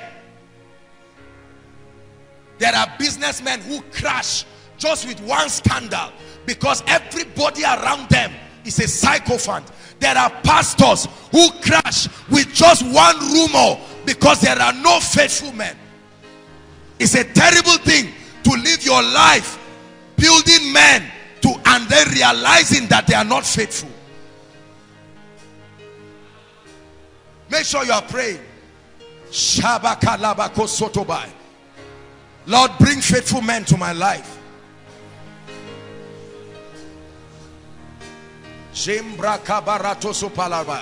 Hallelujah. Listen. Jesus had a crowd just like koinonia. He was teaching them. They were there for different reasons. One time he taught a message that was too hot for them. The bible said they started leaving there were only certain people his disciples that stayed. And he asked them a question. He said will you not also leave? And then peter he said to whom shall we go? Don't you know we are sold out? To whom shall we go? He said you alone have the word of life. And when they were crucifying peter theologically historically they kept peter and were about to nail him. And peter said i have one request. I know i will die but i'm i'm not worthy to die in the same position with jesus turn me upside down and let me die faithfulness unto death i like you to pray especially those of us who are trusting god for marriage by the time all you have in your life is a man who just wants you because of figure eight, you are in trouble. By the time you have a woman who just likes you because you have money or you are working in shell, you are in trouble. Lift your voice and say, faithful men. Faithful men. Faithful men. Pray.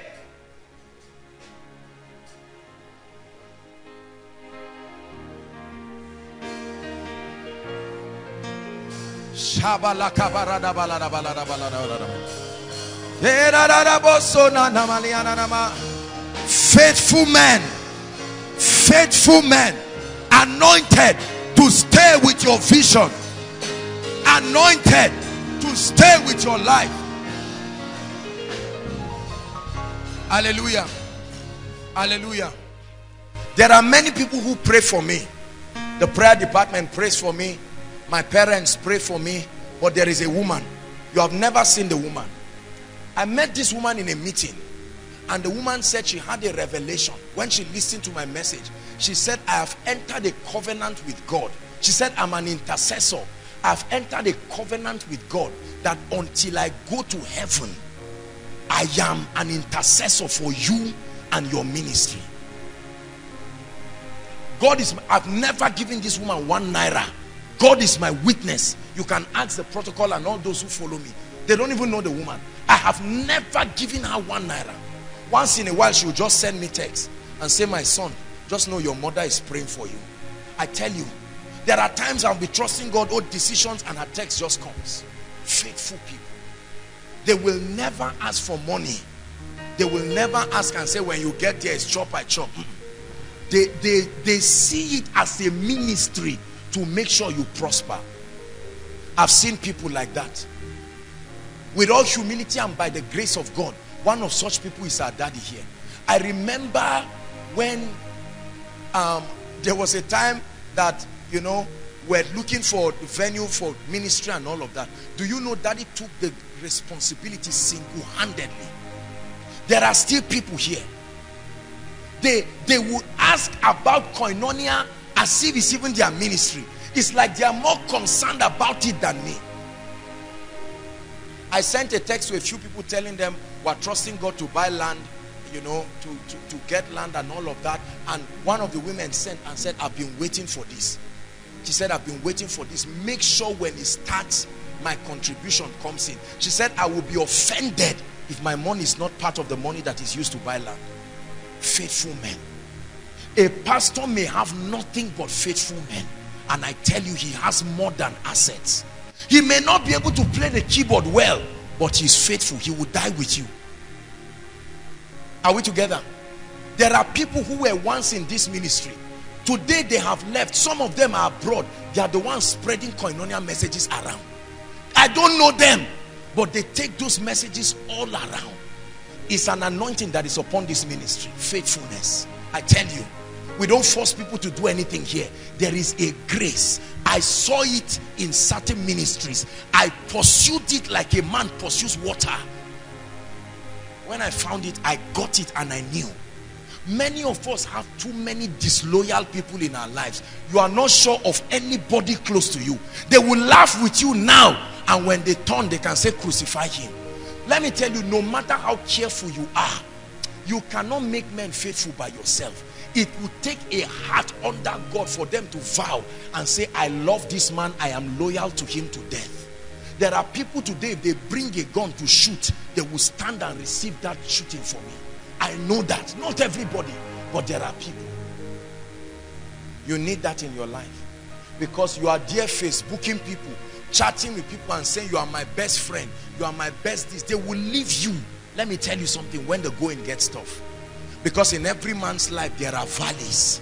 There are times of challenge. How many wives left their husbands simply because for one year there was no money they packed their load and went how many husbands left their wives and started looking for another small girl simply because after five years she could not give them a child? Faithfulness is important. Don't think i'm joking when when we are saying this. Please i want you to pray again and say lord in my life send faithful men. I told you they are anointed. They are commissioned. They are anointed. They are commissioned. They don't just come. They are sent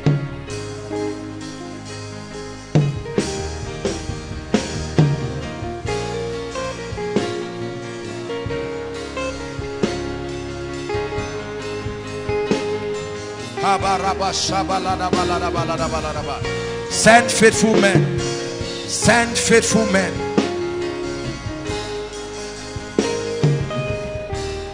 Hallelujah. Number six, please sit down. We're rounding up. The last key that controls undeniable results and impact in the kingdom this is probably the greatest of the laws that I know. It's called the law of honor. Pay attention. Somebody's life is about to change. The law of honor.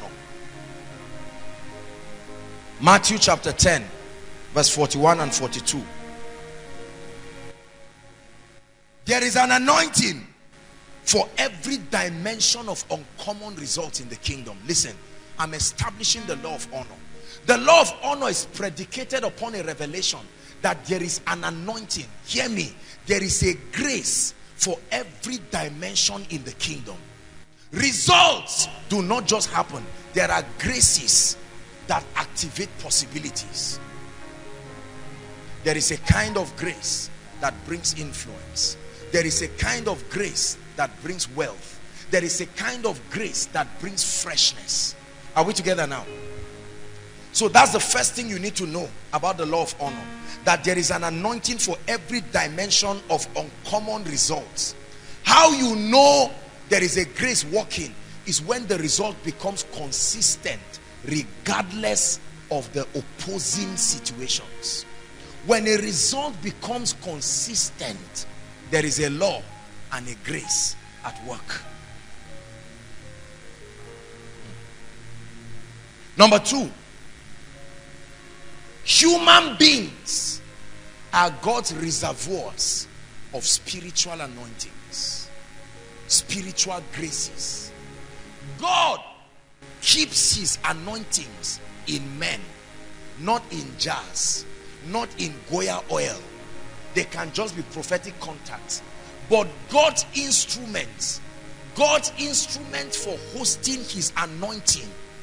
Listen, he that receiveth a prophet in the name of a prophet shall receive what? Look up. Did he say shall receive God's reward? There is something called a prophet reward. Is the reward that goes with his office. Are we together? It is the possibility he can release to you in honor of the God he serves and the office he represents. And it does not just mean a man of God, it's a law. Every time you see a man walking in a dimension consistently, regardless of opposing forces, there is a grace making that. I have seen people in my life, they are not very wealthy, but they never beg. I don't know what kind of grace that is. The moment supplies are about to finish, something else comes. They never have one billion, but they never lack. If they need to travel abroad, someone pays for the visa. I've seen these people, very strange people. They kneel down and say, Lord, send help from Zion. And men are rushing. They will not bring one billion. They don't have 20 cars. They may just have one or two cars. But you will come to their house, you will never beg for bread. It's a grace. Are we together? When you see a ministry exploding in membership, there is a grace. When you see people moving from one dimension to the other, there is a grace. You can see a lady who may not even represent what supposedly most ladies may think brothers want in sisters yet you find 10 12 15 brothers flocking around and everybody saying this and that. She can say no i'm in a relationship. You say close that one and, and come to me. I'm, I'm ready to whatever it takes. And you are wondering come my brother is it that is it that this lady is gold? He says me too i don't know. It's a grace. Are we together? That lady will leave that ministry and go to another one where nobody knows her and the result becomes the same. There are people when they ask you something you can't say no. You you swear heaven and hell and say this is the last time i'll give anybody this this lantern. They just knock and say ejimi please can you help me with it? You stand up like a zombie and pick it. There is a grace. There is a grace. I have seen this. There is a grace that brings the healing anointing in a ministry. It's not just by faith there are people who have these graces now listen to me please your life revolves around the levels of the possibilities you have activated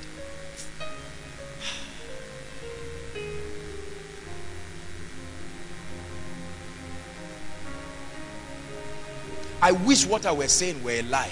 I would have quietly apologized and just sat down. But this is true. It has changed my life. It is changing my life. It has changed this ministry. It is changing this ministry. The law of honor is the cheapest route to greatness. The law of honor. I used to think service was the cheapest route until I learned the law of honor. My goodness. You can quantum leap your destiny in one day. You can veto imperfections in your life by practicing the law of honor. It has worked in my life like a charm.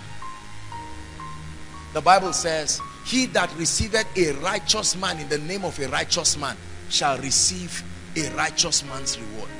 He that receives a fruitful woman in the name of a fruitful woman shall receive what? A fruitful woman's reward. He that receives a millionaire in the name of a millionaire will receive a millionaire's reward. The keys that made him what he is. Listen, you can, men are dimensional. That you are close to a man does not mean you have exhausted his dimensions. There is Joshua Selman, the human being. There is Joshua Selman, the friend. There is Joshua Selman, the man of God. Are we together? There is Joshua Selman, the businessman. There is Joshua Selman, the whatever it is. There is a dimension you have not seen. If you only know me as a man of God, you receive that reward. If I become your friend, you will have access to certain things that people will not have. Are we together? If you come to see me in the capacity of a man of God, you can sit down. I will open my fridge and serve you because you are coming as a man of God. But if you come as my friend, when Ejimi comes to see me, whatever I'm eating is what he will just pick it and keep eating. He has he is not going to ask me. We will even talk about it. He wants malt, he can open the fridge and carry it and we'll take. Are we together? Because we are friends. Are we together?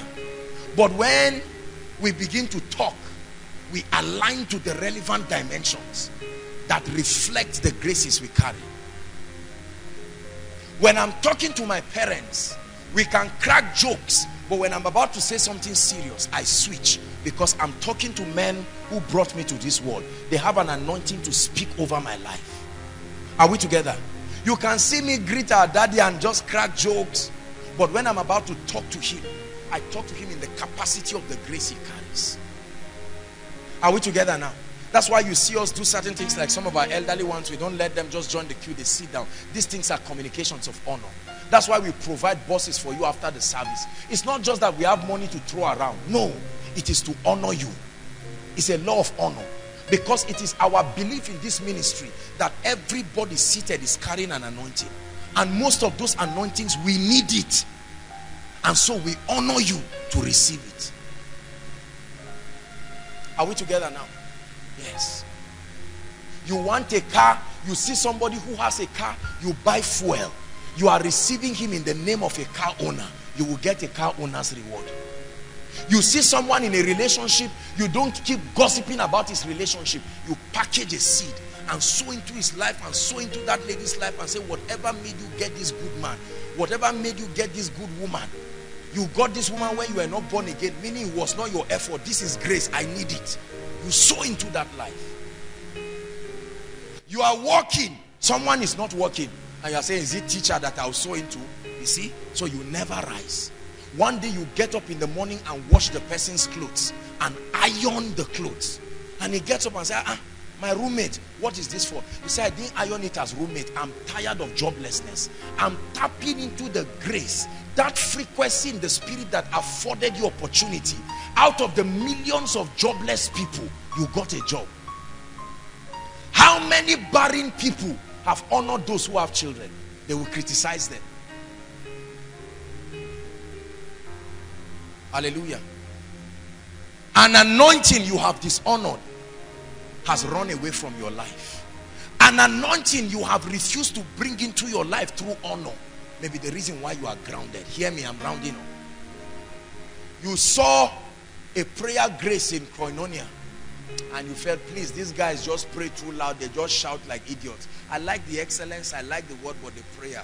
And so you find out that you pray for five minutes and snore your life away because you ignore that grace. It's called the spirit of prayer and supplication.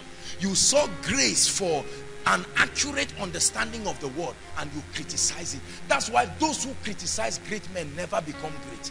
You see why our parents are sincere but the way they are they criticize every preacher on tv they criticize every actor. They criticize every government worker. When they watch news everything is criticism. They insult everybody. Who have you insulted to your detriment? Whose anointing have you resented? Let me tell you the key to activating the law of honor. Number one you must believe in God.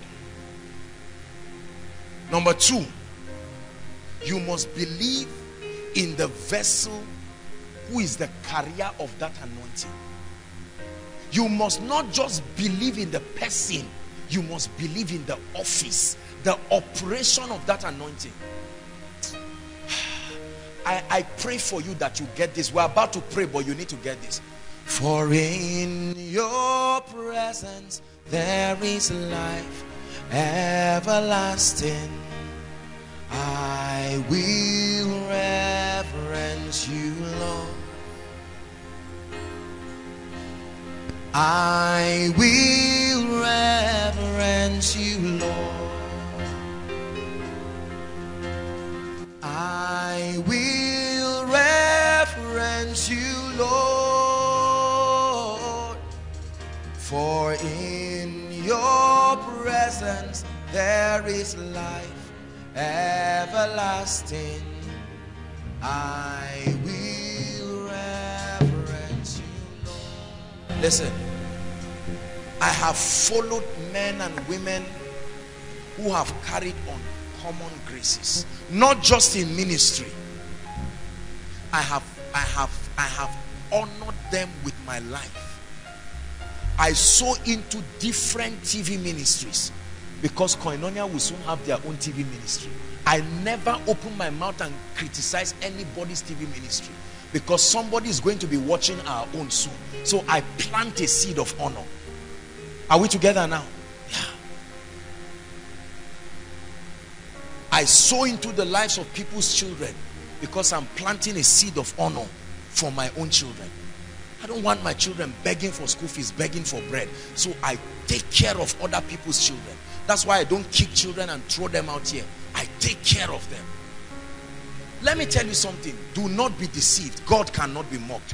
Whatsoever a man soweth, without fail, except for the mercy of God, he will receive it.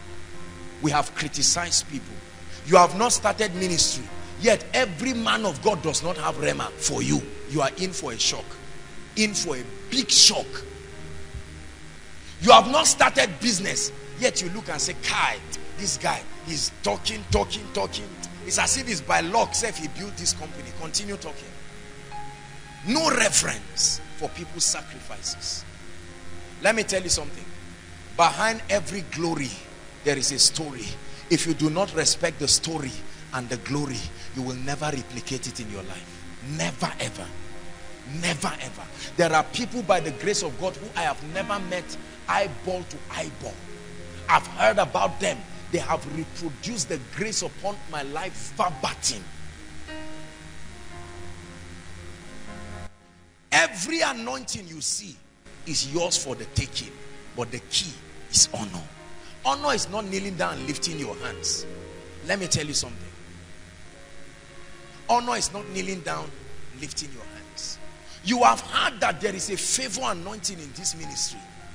Don't know whether you believe it or not. There are many people who never believe it. So you will sit down with circles of disfavor. Whereas people are recording unending testimonies of the hand of God. By the grace of God, everything we do in this ministry prospers. It's a grace. Have you tapped into it?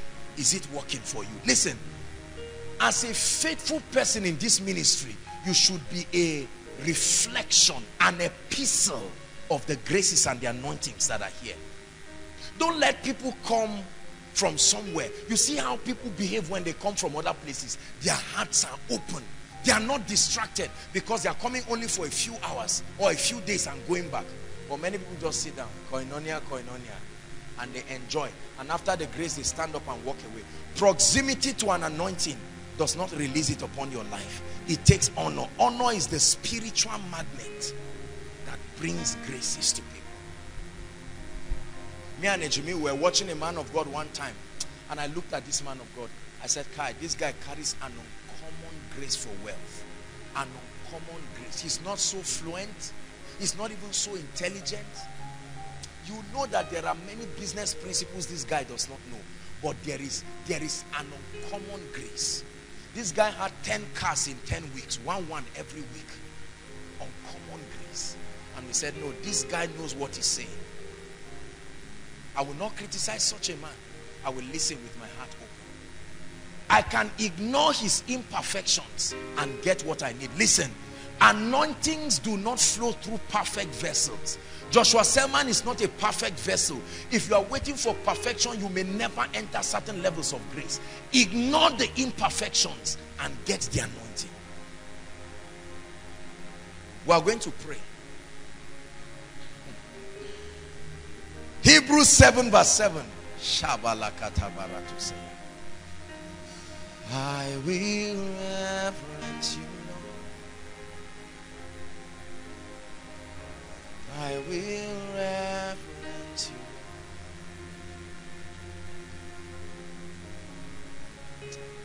There are things that were not in my life before.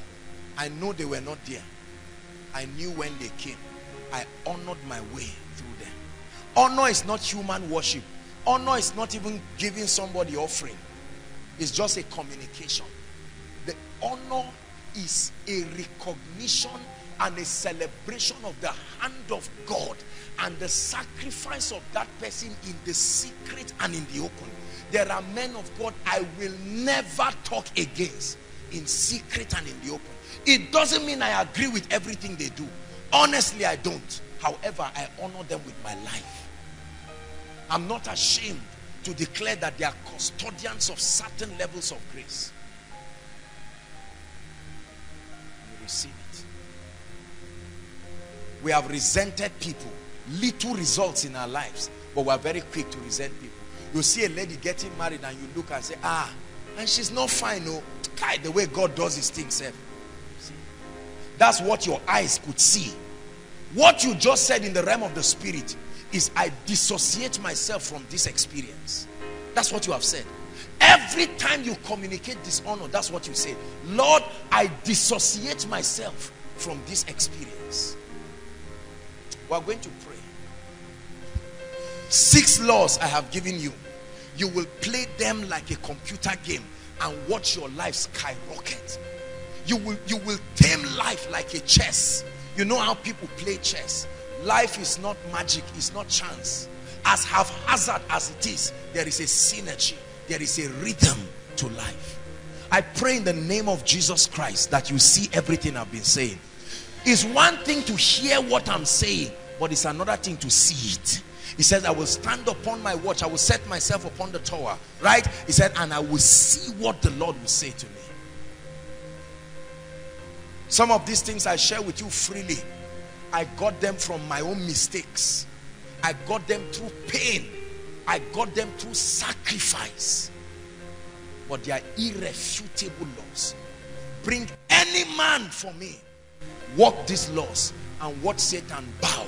Watch gates open by themselves. I don't care whether it's gates of finances. I don't care whether it's gates of health. I don't care whether it's gates of ministry, gates of business. There is nothing you are doing that has not been done before.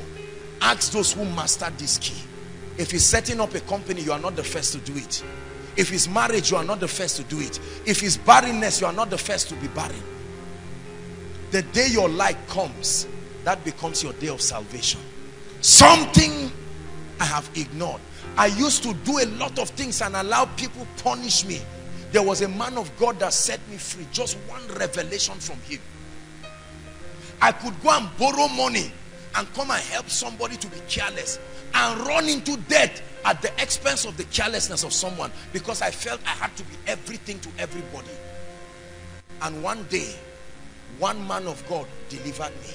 His name is Dr. Mike Murdock. Just one statement. He said, never do to people what only God can do to them. Ah, that was it.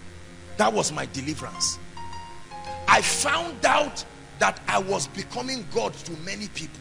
So I was taking God's responsibility in the lives of so many people and it was killing me. And I said, no, rather than being God, let me start leading men to God.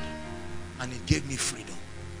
There are some of us who are always paying bills for people who are not serious. You give them 20,000, they go and destroy it. You give them 100,000 for a business, they throw it. And you keep doing that. Is running the finances of your home. You are being God to them. Lead them to God. Teach them the principles. Give them access to responsibility. Rise up on your feet. Let's pray.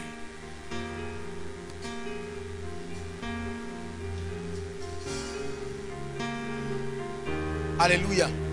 We're just going to have three prayer points. I'm going to give us the next five minutes i'd like you to blast in tongues we are going to pray the secrets of the kingdom like bishop oyedepo will say that has been responsible for producing stars in the kingdom. Life is not guesswork. Stop guessing.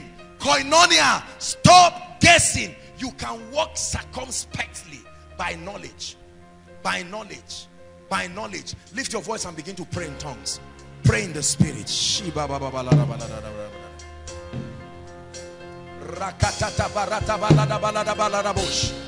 Pray.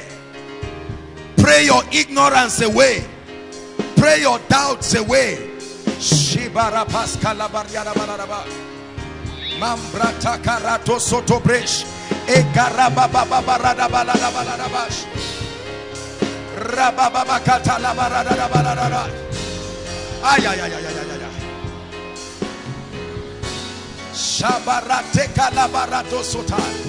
Pray your way to the realm of uncommon exploits pray your way to the realm of enviable greatness. Pray your way. Pray the secrets of the kingdom. Pray the secrets of the kingdom. Pray the secrets of the kingdom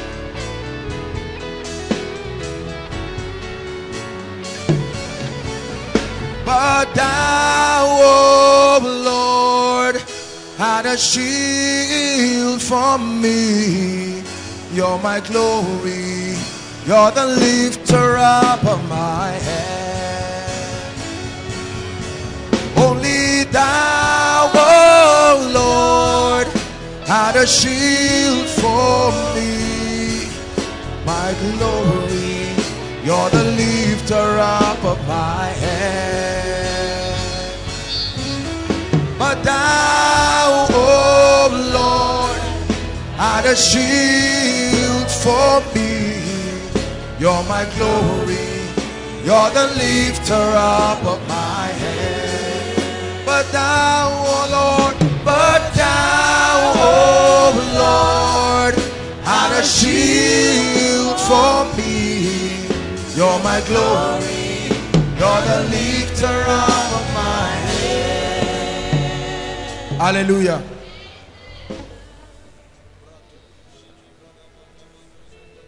i like you to pray and say, Father, I'm ready to trade these secrets. You have shown me.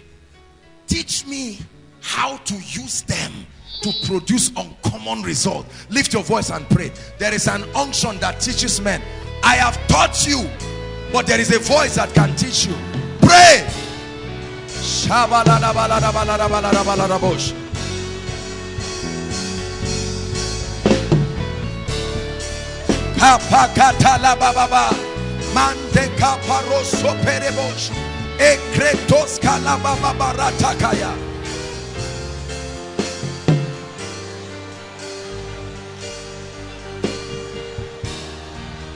You are rising. I'm telling you, you are rising. This truth will lift you up.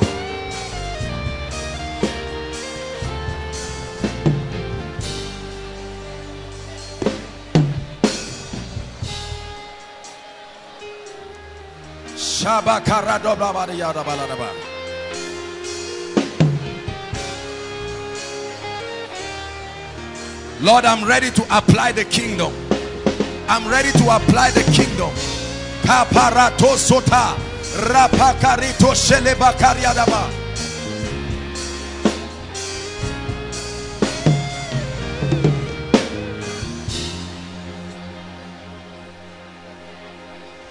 We're going to sing one song. Just one song. I'd like you to sing it with all your heart. It's a prophecy. Because in the next one minute, I want to pray for you. There is a grace that activates this. I've taught you the principles, but there is a grace. Arise, shine, my light is come. Personalize it. The glory of the Lord is risen upon me. I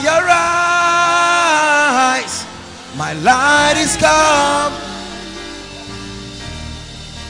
I see the glory of the Lord is risen upon me. Sing it as a prophecy. I will arise. Hey, hey, my light is come. In this year of multiplied grace and influence, the glory of the Lord is risen upon me. I will arise and shine. Arise.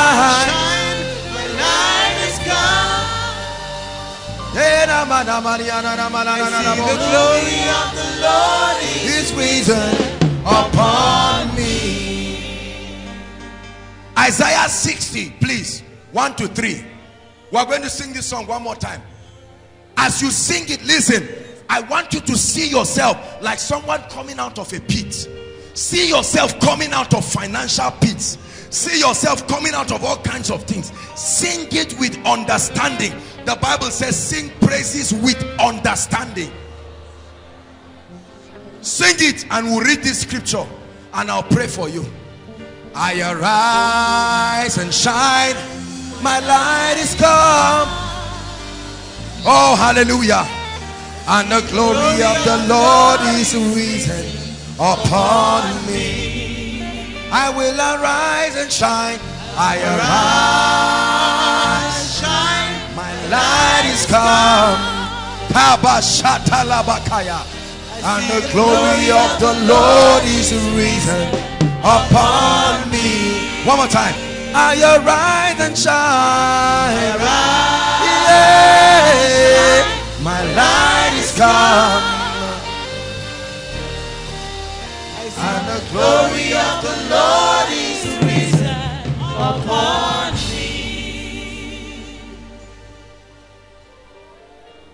Arise, he says. Shine for your light. What I've been teaching you has come. All you have been hearing, the mysteries that produce champions in the kingdom has come. It says, and the glory of the Lord is risen upon you. Verse 2 For behold, it says, the darkness shall cover the earth, gross darkness the people. He said, but the Lord shall arise upon you, and his glory shall be seen upon you. Verse 3 Hold on, listen. I like you everywhere you see die. Put my. This is a prophecy for you before I speak over your life. Are you ready? Read it convincingly as a prophetic word. One to read. Gentiles shall come to my light and their kings to my rising. One more time. And Gentiles shall come to my light and their kings. Listen, I have seen this thing in the spirit. I have seen men rise. While I was seeking God for this year, God told me it's a year of multiplied grace and influence. It's not just a name. Brothers and sisters, we're about to round up. We're getting towards the end of the first half. There are signals that I'm beginning to receive in my spirit that men are going to change states like day and night. Believe what I'm telling you. That's why I'm teaching you this the Lord began to put it in my spirit it's time for people to change my own assignment is to teach you this and release the grace God's assignment is to watch over his word and bring it to pass. Lift your hands as I speak over you. Please I want you to believe. The Bible says blessed is she that believes. He said for there shall be a performance. I pray for you. The gates of the next level of your destiny be open now. The gates of the next level of your destiny be open now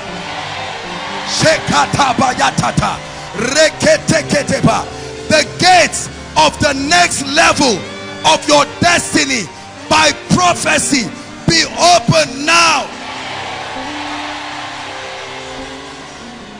I speak to you. Change levels now. Change levels now. Change levels now. Change levels now I speak to your finances. Money has a spirit. I call you to men now. I call you to men now. I call forth resources. In the name of Jesus.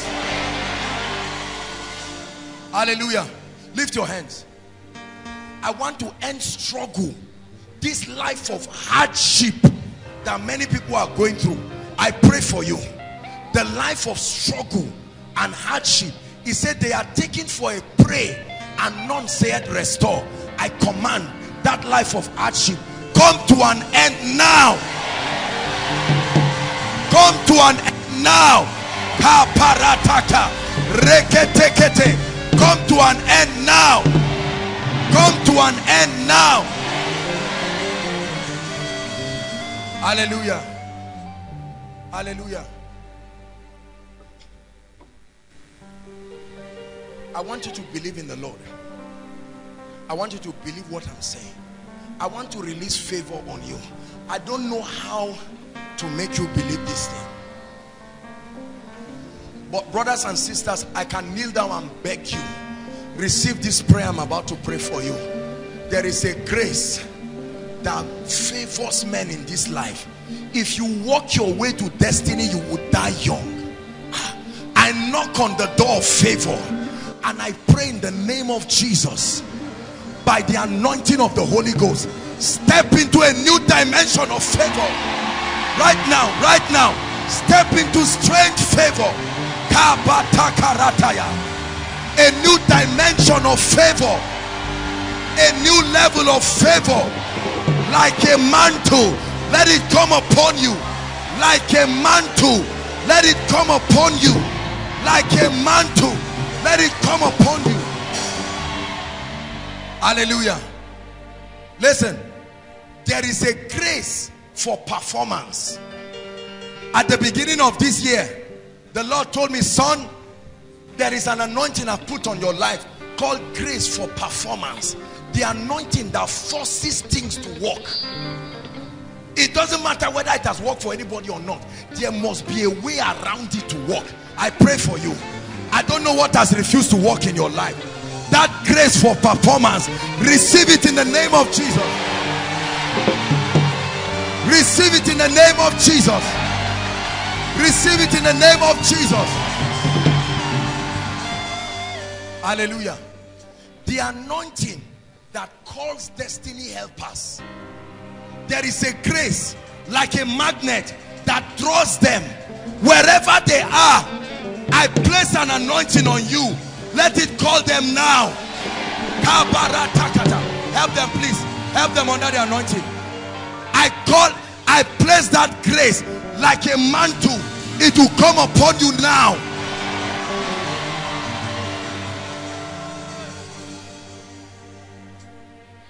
Hallelujah. I pray for you. Everything that has closed your glory so that you are not seen tonight in the name of the Lord God of Israel. I declare may your glory rise for all to see. May your glory rise for all to see. May your glory rise for all to see. Hear me. There are people here. You get results but you work for everything by yourself. Everything by yourself. I stop that cycle in your life. In the name of Jesus. Hallelujah. Father I pray. These six keys that have taught your people the key to activating them in their lives that one is not learned it is received as an impartation. I pray for you. Every one of you under the sound of my voice. The activation the key. Be sensitive to what I'm praying. I'm not just talking. The key that activates these operations I've taught you. In the name of Jesus I stand by this apostolic and prophetic anointing. I hand it over to you in the spirit receive it in the name of Jesus. Receive it in the name of Jesus. Receive it in the name of Jesus. Lift your hands and begin to thank God and say I have something. Receive it through thanksgiving. Lord I expect things to begin to happen in my life. I have the knowledge. I receive the empowerment hallelujah. Hallelujah. Very quickly our time is up. Please help them anyone under the anointing. Just help them. I want you to go back. I'm glad we are finishing this series in preparation for miracle service. Please don't miss miracle service. One of the things that will happen on Friday is an extensive time of impartation. There are people you need to carry some graces in your life. Hallelujah. Please make sure that we're going to pray for the sick yes but I, I truly want an anointing upon your life that will turn you around and will begin to open up certain doors for you. So please don't miss it. All those who are worshiping with us for the first time please let's keep standing just for a few minutes. We're out of time. Let's honor them. Please make your way to the front. If this is your first time worshiping with us here in Koinonia we love you. We honor you. God bless you sirs God bless you please appreciate them as they come appreciate them as they come Dearly beloved, I hope you were blessed by this message. I want you to keep doing something for this man of God, our man of God, Apostle Joshua Selman. And that is, I want you to keep on praying for him that the cause of the gospel may have free flow in him, that he may be granted boldness to continue with his commission of Jesus Christ, and that all provisions be given unto him as he continues in this journey of Christianity. And then don't forget to like this video. Don't forget to hit the subscribe button if you are new here. Don't also forget to leave a comment in the comment section and then keep sharing keep sharing abroad and let's all keep sharing jesus. I'll see you again. Bye